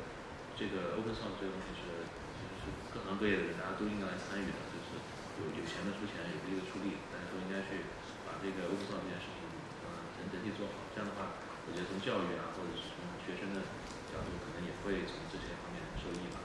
然后这三点。谢谢杜总，杜总现在已经闪闪发金光了。以后我们有活动需要赞助的时候，我会再找杜总。然后杜总刚才已经给大家开始发 offer 的感觉了。那个顺便说一句啊，大家可以来 LTB 这里实习，然后 LTB 实习你也培养了你的经验，最终也可以去腾讯。Okay, our third question for Craig, and so you know many Chinese uh, there, in China there are many uh, developers and many of them are using uh, Apache software, but we can see there are few uh, Apache committers from China. So, um, do you think uh, does the Apache Software Foundation have plan to do more work to attract more Chinese developers and let the Apache culture more popular in China? Is there more some plans?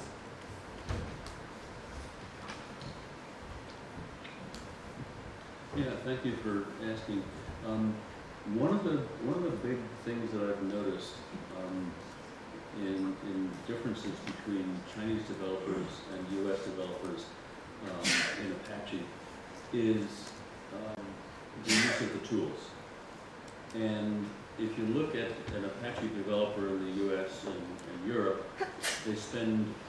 half of their time on their IDE, their development environment,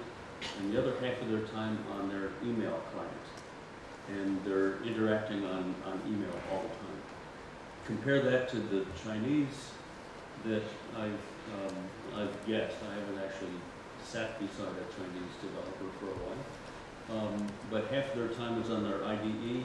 and the other half of the time is on WeChat. And so we recognize that that is an issue, and rather than making the, the Chinese change their behavior to use email, um, we're working on a project to make it easier for Apache projects to use WeChat as one of the main communication vehicles. So that's what we're doing at the, at the foundation level. And the rest of it is just education, you know, making sure that people find a welcoming environment um, in the Apache communities. Uh, considering that we have a significant number of uh, Chinese projects now, uh, we want to make it easier for them to follow the Apache way and encourage them um, in the open open development.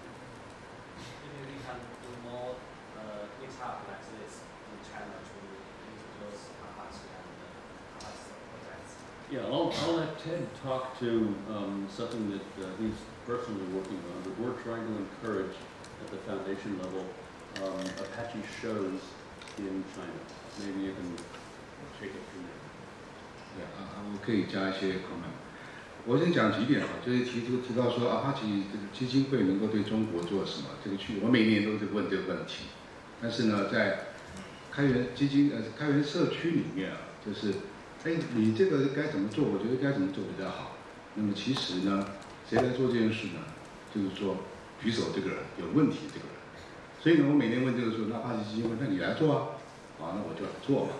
对吧？那这是第一个，第二个，刚刚呃王博士所提到的，就是说中国的现在参与这个基金会参与开源全球开源贡献的数字还是相对少一点嘛。那我举个实际例子来说，两个例子。第一个，二零一五年我们办呃开源社办这个阿帕奇中国路演的时候，中国当时只有三个项目是来自于易贝中国有研究院。到今天二零一九年，现在有十九个项目，其中有九个已经毕业成为顶级项目了，另外还有十个。这上面啊，这包含这个十九个项目，呃，除了那个 Q M Q 之外，那这个十九个有有十个是正在孵化中的项目，所以您看到在大家看到在这个短短五年之中是飞速的成长，但是还有另外一个数字我要跟大家说的，就是现在阿帕奇在全球当漏最大的地区呢，下载阿帕奇项目最大的就是中国，但是呢，在全球的七千多名的呃提交者里面，computer 有多少是来自中国呢？我举个简单的例子，有七百多名的、七百三十几名的会员哈，在中国地区目前的，包含我在内，这个江宁在内哈，那个古居民在内，总共有大概十位不到，总共大概就十位，七百多人只有十位所以我觉得我们是飞飞速成长，但是我们还其实还还有蛮大的空间，要可以来去成长，啊，那就是我觉得是说，呃，刚刚再讲一句话就是。啊，把好的资源带进来，那我们自己要走出去，啊，还是一句话，就就是做就是了。In, as a university, we also want to do uh, uh, join such like such uh, meetups or such activities to let more young students and developers to know Apache and uh, the Apache projects. And so, uh, TED. So, do you think is there any problems or uh, challenges to hold such such activities in China comparing with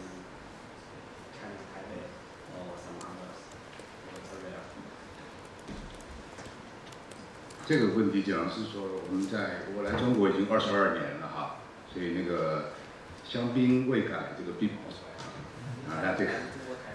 对对，我已经来了二十几年了哈，啊，但是每次坐电动车说，哦，你来是台台湾的吗？然后回台北去呢，人家说你是大陆来的嘛，所以还就是说就是，但是我是落叶归根嘛。那那我要讲就是二十二十几年，我从九零九九年呢开始进入这个呃开源的世界里面，这这个十几年来哈，我是从来没有离开过开源的，不管在哪一公司，就好像是我们命注命注定一样。但是在中国做开源到目前为止啊，从五年以前我们成立了开源社，一直到现在啊，那我真的觉得就是说。志愿者的力量，一发心啊，一个这个要初心的要做一件事情的时候，那是非盈利的，是公益的，而且是全自愿的这种，这个力量非常大。我就举一个最简单的例子就好，我们五年都在呃都基本上都在大学做，只有一年是在深圳做。那一年呢，我们找了一个会会务公司来做，比其他的都是一百多名的志愿者来做这个事情。但是我们自己觉得这五年办的最差一次就在深圳那一次，啊，这个嗯，抱歉一下，让我们自己自自自我检讨了。那我们的现在有十个工作组啊，一个理事会有七位，那一半是女性了。那十个工作里面，十个工作组里面超过一半是女性。那不管是男性女性，他们要花很多的时间呢。他是九九六这样的小菜一碟啊，他是自愿的九九六，他有一半的时间呢，他要工作，啊，一半的时间要这个呃，就是支持家庭，剩下一点时间来做这个啊开源事业。所以你说对，在中国做什么样的事情，做开源社区会不会很困难？当然很困难。但是呢，我觉得只要有我们这些志愿者、和爱志愿者大家一起呃携手来合作的话。啊，任何事情都不会是困难，也欢迎大家参与关注，谢谢。其实除了这次清华大学开设以外，我们还有清华大学 TONA 协会和北邮开源软件协会，也是两个高校的这个面向开源的一个组织，一起来举办的这次活动。呃，in this this activity is also uh uh co-organized by uh 清华 Open Source uh Student Club and 北邮 another university. uh, in Beijing as student car for so um, any questions to want to ask for some of you 有大家还有些什么问题想问吗？好的。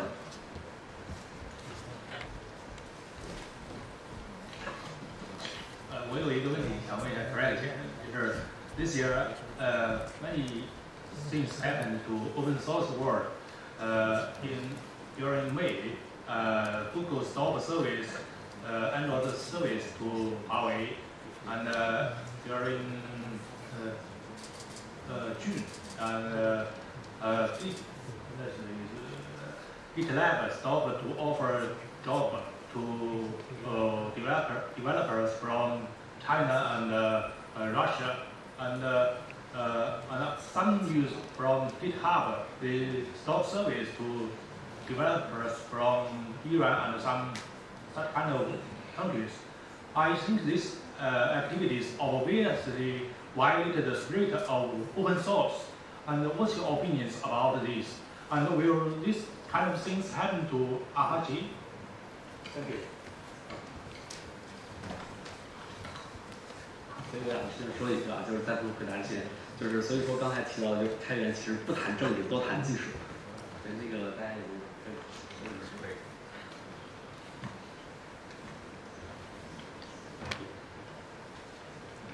So um, it's it's interesting that um, all this has come up in the past year when there's been a lot of political turmoil around the globe that I'm, I'm not personally going to take responsibility for, so thank you for that. Um, the the U.S. government put some Chinese companies on the entity list last year. Um, we had a review of how that might affect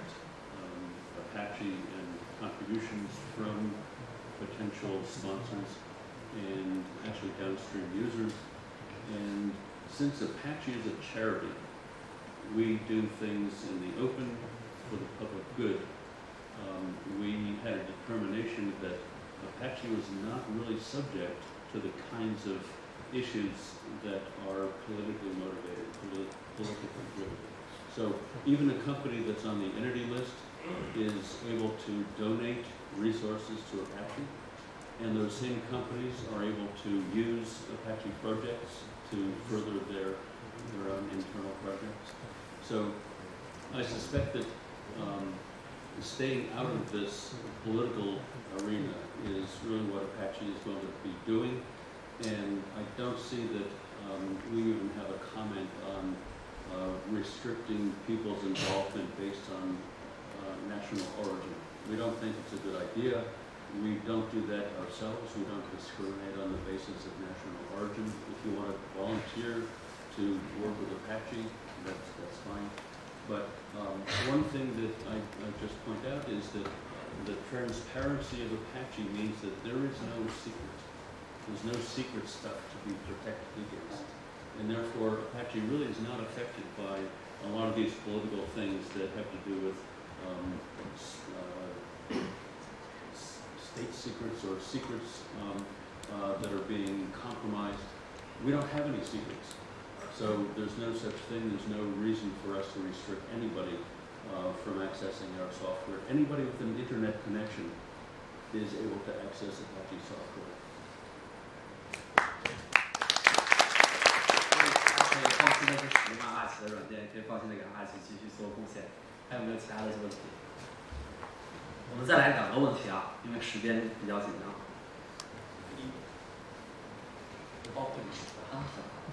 我想问朱总一个问题，就是呃，我们公司的同学有时候会问说，Apache 2.0是这个免费许可软和免费许可专利，所以他们有时候就会问说，既然已经免费许可了，为什么我们还在就这个软件申请专利？呃，因为我们公司最早提出政策就是说这个软件都要申请相应的专利，所以我们想问一下这个涂总就是鹅厂是怎么做的？谢谢。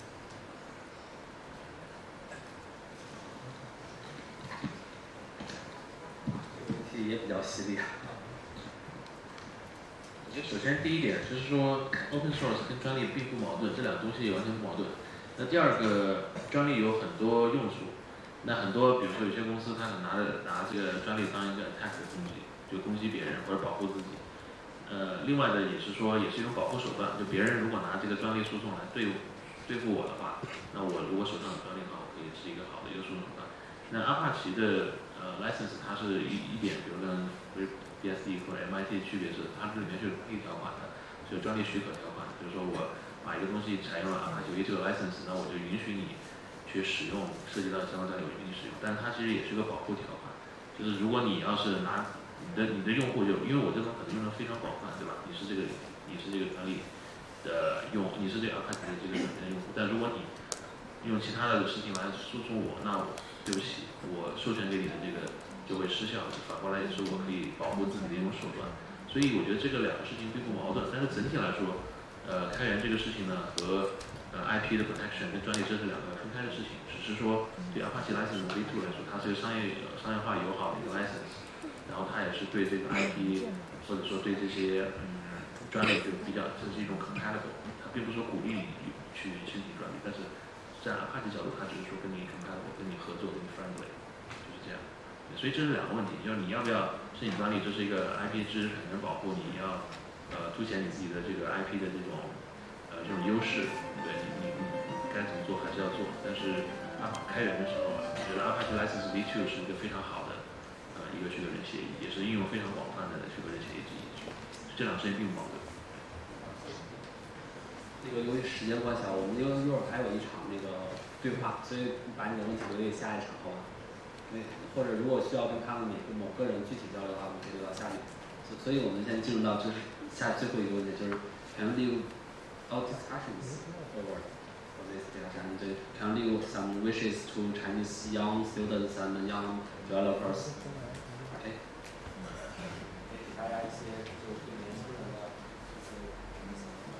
Uh, China is a developing country, so I want you all contribute your intelligence to develop good software for country, for society, and for global good. Thank you. So we think some very successful Apache projects are actually coming from university, just like Spark, just like Flink. It's from um, Berkeley. Yeah, yeah, maybe IoTDB later. So it's from Berkeley, from you know some German university. We, we wish the next big thing, the next big project, maybe IoTDB is from China's university and created by all you guys. See, thanks.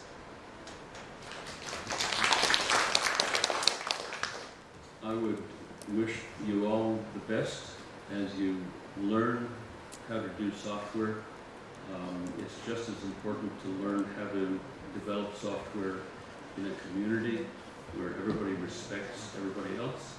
And um, Apache is a great place to find communities that you can love and who will love you back. So come join us. 呃，我也简单讲一下，就是说，大家学生呢，可能要进入一个开源项目贡献的话，会有一些门槛哈。那我们现在开源社有几个项目，包含是呃一个黑客松的平台，开放黑客松平台，有一个是开源贡献激励平台，叫 Kcoin。那另外一个项目呢，就是刚刚 Craig 说的，我们现在在国内外的沟通的工具跟语言方面打通，就叫 OSS Hub。这几个项目呢是看是在国内啊、这几个项目，也欢迎大家关注，也可以欢迎加入，这个门槛是非常低的。谢谢。Ask for this discussion, we invite uh, Craig or some people who didn't that didn't sign on that flags to have a sign, okay? All, all of them uh, on the flag are Chinese uh, art projects from China. China. 就是大家有，就是我就先邀请台上几位啊，就是没有在席上去签名的，我们可以做一个签名。大家可以看到这里面其实有来自 L L LTD 在右上面，在右边，然后 Shining Sphere 在左边，今天出现的，然后包括因为腾讯刚刚介绍的呃 Cube MQ 是前两天刚刚进入孵化器的，所以没有在这个旗上。我也来看。一会儿我们还有第二波，就是那个我们的第二波的对话嘉宾是全都是开发者们，就是这些各个中国的这些项目的发起者们。那他们的对话，我们的主题是面向于开源和找工作，因为他们都来自于公司，就是可能更适合于今天大家在座听的一些学生们是这样一个观点。然后一会儿我们最后也会邀请他们来这样的。OK，我们一起来拍张照。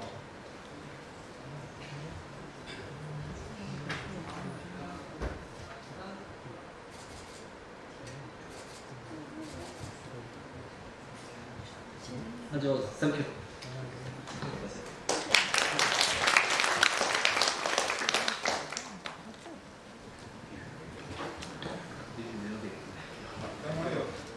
对，刚刚提问的同学在下面就可以来找我领一下小礼品，就开源社捐赠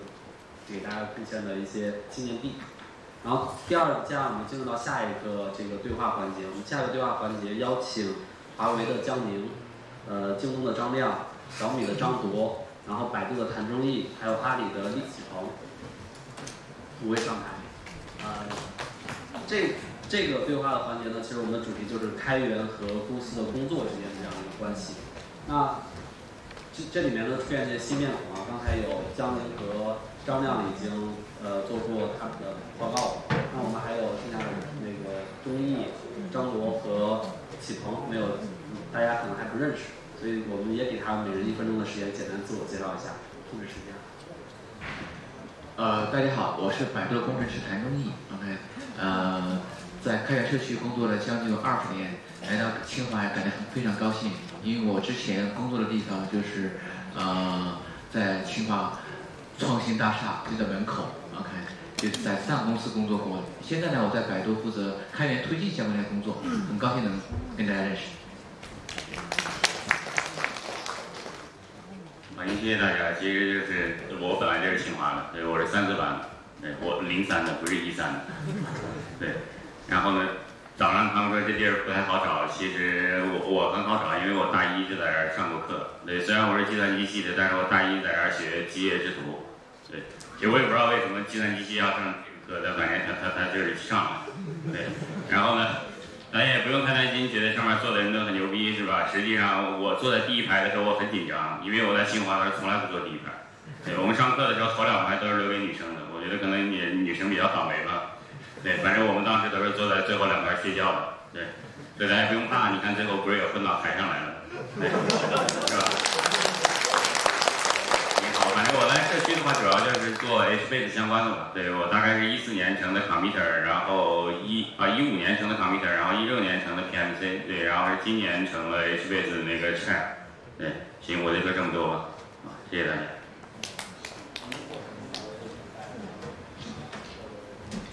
啊，大家好，呃，我是阿里巴巴的，呃，我叫李启鹏，呃，非常高兴这次能来到我们这个清华大学参加这个科研的活动。然后我是呃在阿里的话呢，主要是负责 Rock and Q 的呃相关的研发的工作。然后我现在的话也是 RockMQ Apache RockMQ 的 PMC member。然后我我这个是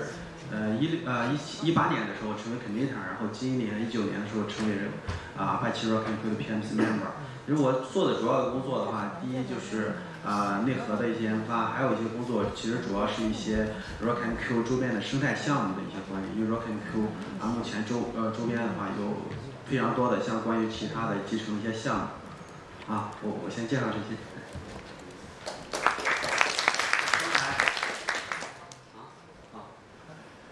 对不起啊，插一个广告。呃，刚才那个华为处呢打电话了，呃，说咱们有一个车挡到了一个呃挡到路，我说一下车牌号是谁，赶紧去挪一下去啊。就是 G N A 九 G 五幺，是咱们的车号吗？啊，是是这个车号的，赶紧去挪一下车去啊。好，谢谢大家。这个不叫广告，这叫通知。然后呢，接下来其实刚才大家介绍，除了启鹏说的他是 FMQ，然后还有前面两位比较晒啊，没有说他是来自于 BRPC 百度的 BRPC 这个项目的发起人。那 BRPC 其实是嗯现在还蛮有名的一个 RPC 的一个一个这样的一个项目。然后张博呢，我们的老学长啊，不叫老学长，我们的学长，他其实大家可能有一个东西，一个数据不太知道，就是我们虽然说阿帕我在参加阿帕奇的人很少，谈不到很少，但是今年的年阿帕奇的年报出来之后，给出来一个叫做全球 top 五排名前，就是提交代码次数最多的前五名，张博排第三，一个很强的一个数据。当时我我一开始想，最早我想收集一个数据，说中国人在中国的开发者们在阿帕奇的社区里面并不活跃。结果我看到这个报告之后，傻了，也不能说不活跃，因为我们已经排到了第三名。对，那我们接下来就进入到我们对话环节，就其实因为这个的对话我们叫做开源经验与找工作，所以其实我重点的想问一下一些关于和开源界和工作的问题。那第一个问题呢，其实就是说我们从公司，因为在座的各位肯定都是公司里面的面试官，对吧？一定都是作为面试官的。那么从招聘新员工的角度上来说，那大家觉得希望招聘到什么样的新员工，以及如果这个人有开发经验的话，能有多少加成？还有到底，因为参加我们说可以去写文档，也可以去当最终的合同团队块，到底呃在开源中贡献多深入，才会对有真正的加成？对你们你们你们的这个评判标准？呃，我是做过百度面试官，也做过很多次二轮面试官。呃，对于校招同学呢，招聘的话，其实就两个需要求，第一个是聪明，第二是好学。聪明和好学，其实在很多名校的好专业排名比较靠前的同学，都已经证明他聪明好学。那么，怎么让你跟别人不一样？那么。而且更贴近于企业，其实说实话是需要更多的实习实践，而其实，在开源社区里面做的正的那些名声呢，能成为你终身的一个名声。所以说，在开源社区做的事情，呃，会跟着你跟随你一辈子，对找工作是非常非常有帮助的。当然，你要看这个项目是什么项目，这个。社区是什么社区？当然是国际知名的社区，国际知名的项目。你在里面做的贡献越多，越越有名，当然对你帮助越大。对，很多时候你做到一定程度，那不是别人在挑你，而是你挑别人。对，然后我觉得这个话题不仅仅限于限于开发工程师，我不知道今天来的很多同学们都是工程师。呃，志向的，我觉得在开源社区里面做贡献，不仅仅就说只是工程师一条路，很多项目经理，很多有志于成为产品经理的人，甚至做运营的同学，同样可以参与的进来，因为参与了各种活动的话，他同样可以锻炼很多很多。所以说，像国内一些开源社区的一些活动，呃，可以作为志愿者。然后呢，作为一些呃，后来可以做一些策划，然后承担一些主要的作用，这些对找工作去参加非技术的面试也是非常有帮助的。OK，我说这个。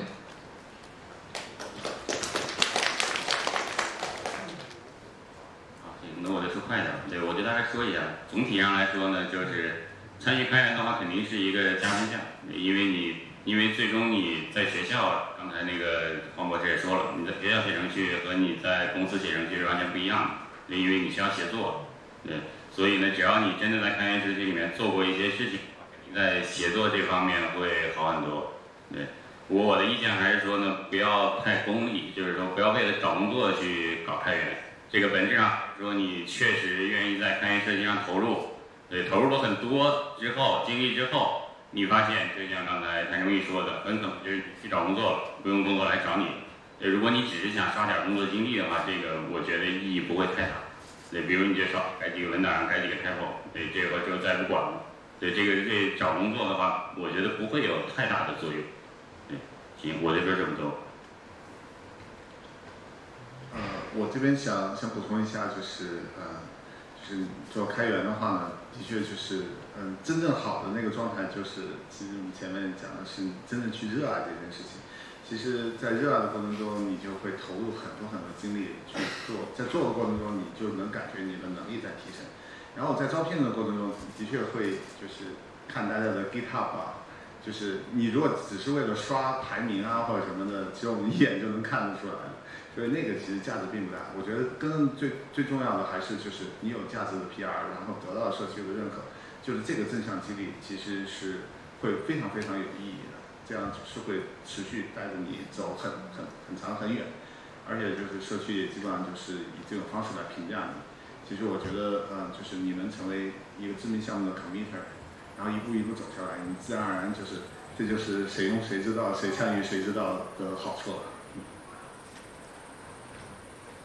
呃，前面说了挺多，我补充两点吧。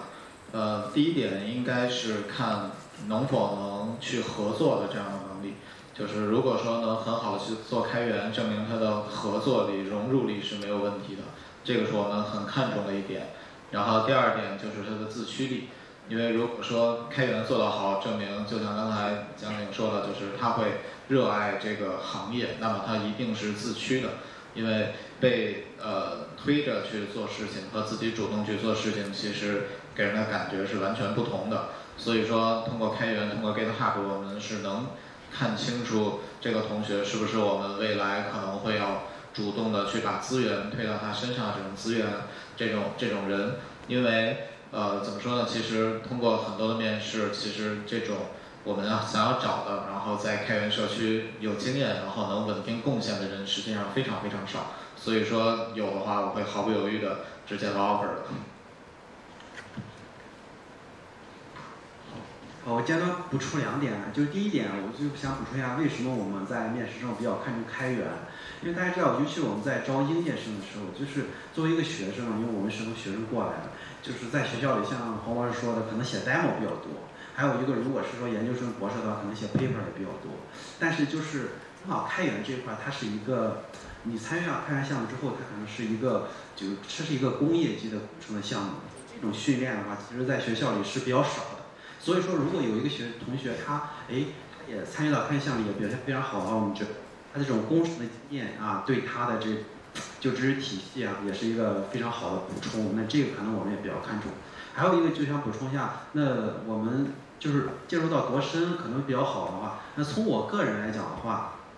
如果是说呃有个同学他说他参与到开源了啊，如果是说他的对你比如说 Rock and Q 对我代码也比较了解。而且，如果因为我们有很多的周边的项目，像关于 Kubernetes 集成的项目啊，关于这个 Operator 的项目，关于这 Connector 等等。如果是你是某一个我们周边项目的一个核心的 Leader，或者是呃不叫 Leader 啊，在这个我们啊就就是一个主导者的话，那，那你能主导一个某一个模块的研发的话，然后我觉得那你肯定是 OK 的。我在我这边可以是直通中面的，大概是这样子，嗯。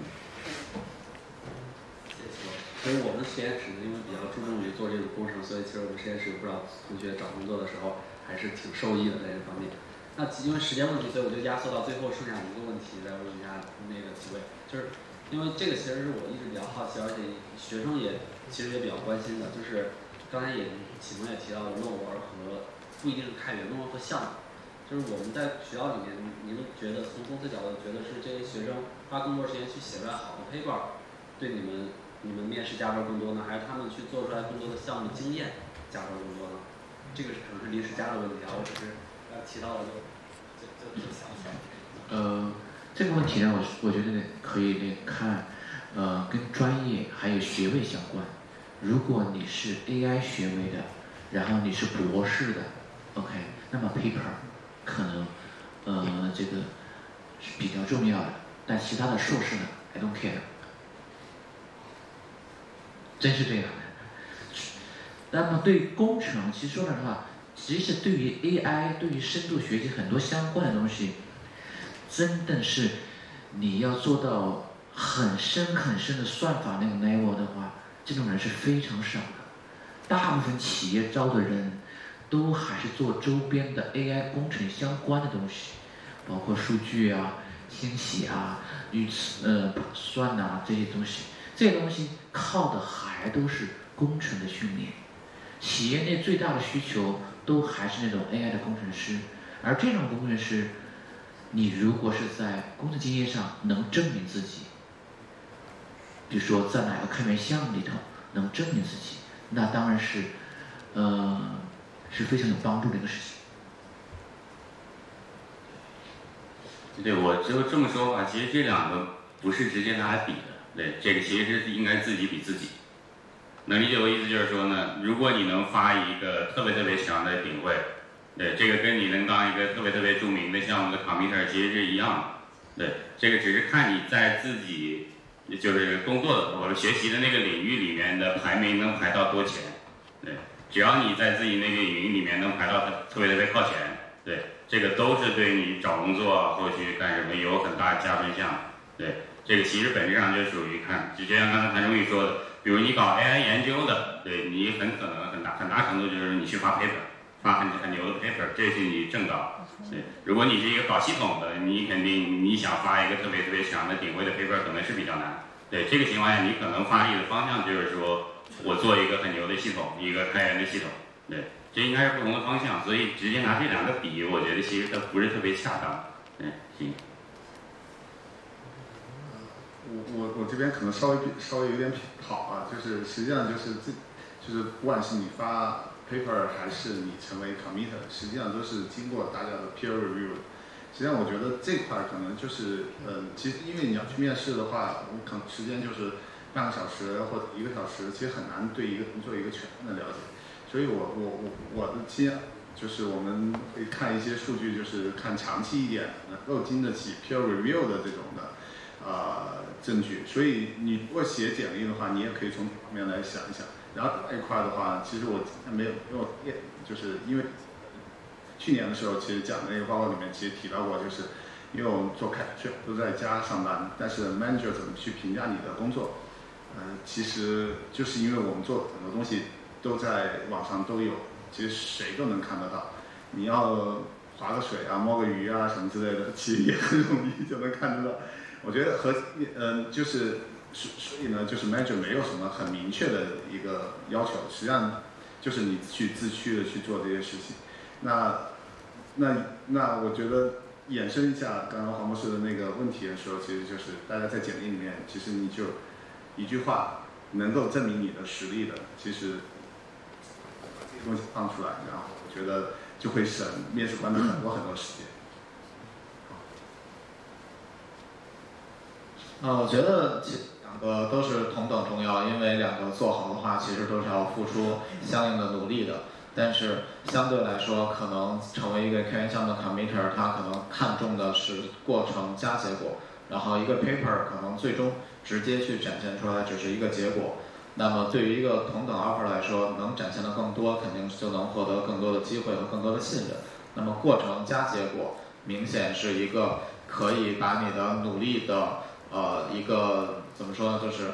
更容易可一个状态，因为一个 paper 发的好不好，可能就是看到一个最终的样子。那么人其实没有起点，也没有终点，它是一个持续可以去进展的东西。所以说，相对来说，如果能拿到一个知名开源项目的 committer，应该会更好一些。因为成为一个 committer 其实不光是技术，而是一个持续的投入以及社区人对你的认可。一个 committer 不可能说社区人对他相互不认识，所以说它其实除了技术，除了呃过程，除了结果，还获得了很多的拓展的可能，更多的呃人脉的拓展。所以说就看大家的选择是什么吧。两件事情虽然都很难，呃，我可能更倾向于选择过程加结果，这样更加可控。呃，其实我我比较赞同刚呃谭总的观点啊，就是这可能不同的岗位，我觉得从体来讲需求也不一样。像 AI 啊，或者是算法类的岗位的话，可能更看重这一些。你像呃我们呃像我这个从事这个领域做基础软件这种的话，我觉着嗯呃首先就是呃如果有 A 类任务，尤其是比较靠前的这种，我们肯定是非常看重，这说明这个同学非常努力，而且创新能力非常强。然后会肯定在面试中会给他更多的机会，让他去展示，哎，我我我想考察的其他的一些方面，就是创新这方面肯定已经 pass OK。但是如果是说是一个 committer 的话呢，因为大家知道 committer 的话，它是我们从事的开源都是呃 open 的嘛，我们能查到它很多的东西，啊，甚至他 review 的一些 PR，他提交的 PR 啊，就是他让我们看到的东西会更多一些啊，这个的话可能就是呃让我们更好的去判断这个人是怎么样的，所以说可能如果是去非要去对比的话，我觉得可能呃一个就是。非常有名的这个啊啊呃一个非常有名开源项目的 committer 可能容易这个通过面试过去。嗯。谢谢各位，所以其实我们您想发表一下，OK，所以我们下面就进入到提问环节，因为已经十二点四十了，呃，在座看一下，对，看看着文件，我们都简短一些啊。这个我有一个问题要问在各位啊，就是说，呃，一个是在 GitHub 上面的这个项目的表现啊，还有另外一个就是说，它是在比如说像一些国际基金会的项目，像 Apache 这样的项目，它是有直接贡献 committer，那这样子的话，是不是在他面谈的时候会有加分呢？还是原因就是 GitHub 项目，一个是在 Apache 项目上。就是有些项目并不是阿帕奇的项目，它可能在 GitHub 上已经开源了。那在这个项目上去做了一些贡献，大家是怎么去看的？嗯，我想回答一下。看这个项目是什么项目？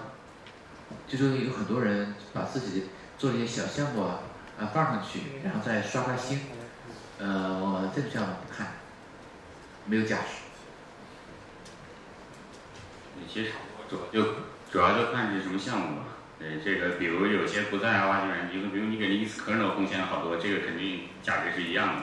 对，而且本质上就是说你是一个开源项目的 committer，对 committer 应该问题就不大。对，如果你说是 contributor 的话，我一般会拉一下，看看你做的 PR 都是什么。对，这个还是很明显能看出来。有些就是讨论的很长，跟人讨论的很深入，然后最后做出来的一个 PR，和你改的全是 typo，这个你其实拉一眼就能看出来。如果你做的确实都是跟大家讨论很深入的、很复杂那些 feature 之类，这个肯定是加分项很多的，对。而如果你真的是一个比较著名的项目，是 committer 之后，可能就过来最后就聊一聊，可能主要看跟公司是不是匹配的，那个能力方面应该问题都不大。实实际上就是项目与项目之间还是会有区别的，所以我们对项目其实可能也有若干的那个考量。但实际上就是呃，那 title 其实只是一部分。更多的是我们看交互，其实我们是会去看 PR，呃，就刚才各位其实已经提到了，其实呃，因为那个 PR 其实就已经放在那儿了，你也你也删不掉，你也也去不了。然后这这些交互的话，我可能就挑个两三个，然后看你是不是有水平的，呃，其实很容易就，呃，这块其实我觉得是直接的了当，我甚至都不用去啊，我面试的时候可能就是稍微细节问题。确定 PR 是他自自己真正提的，就就仅此而已。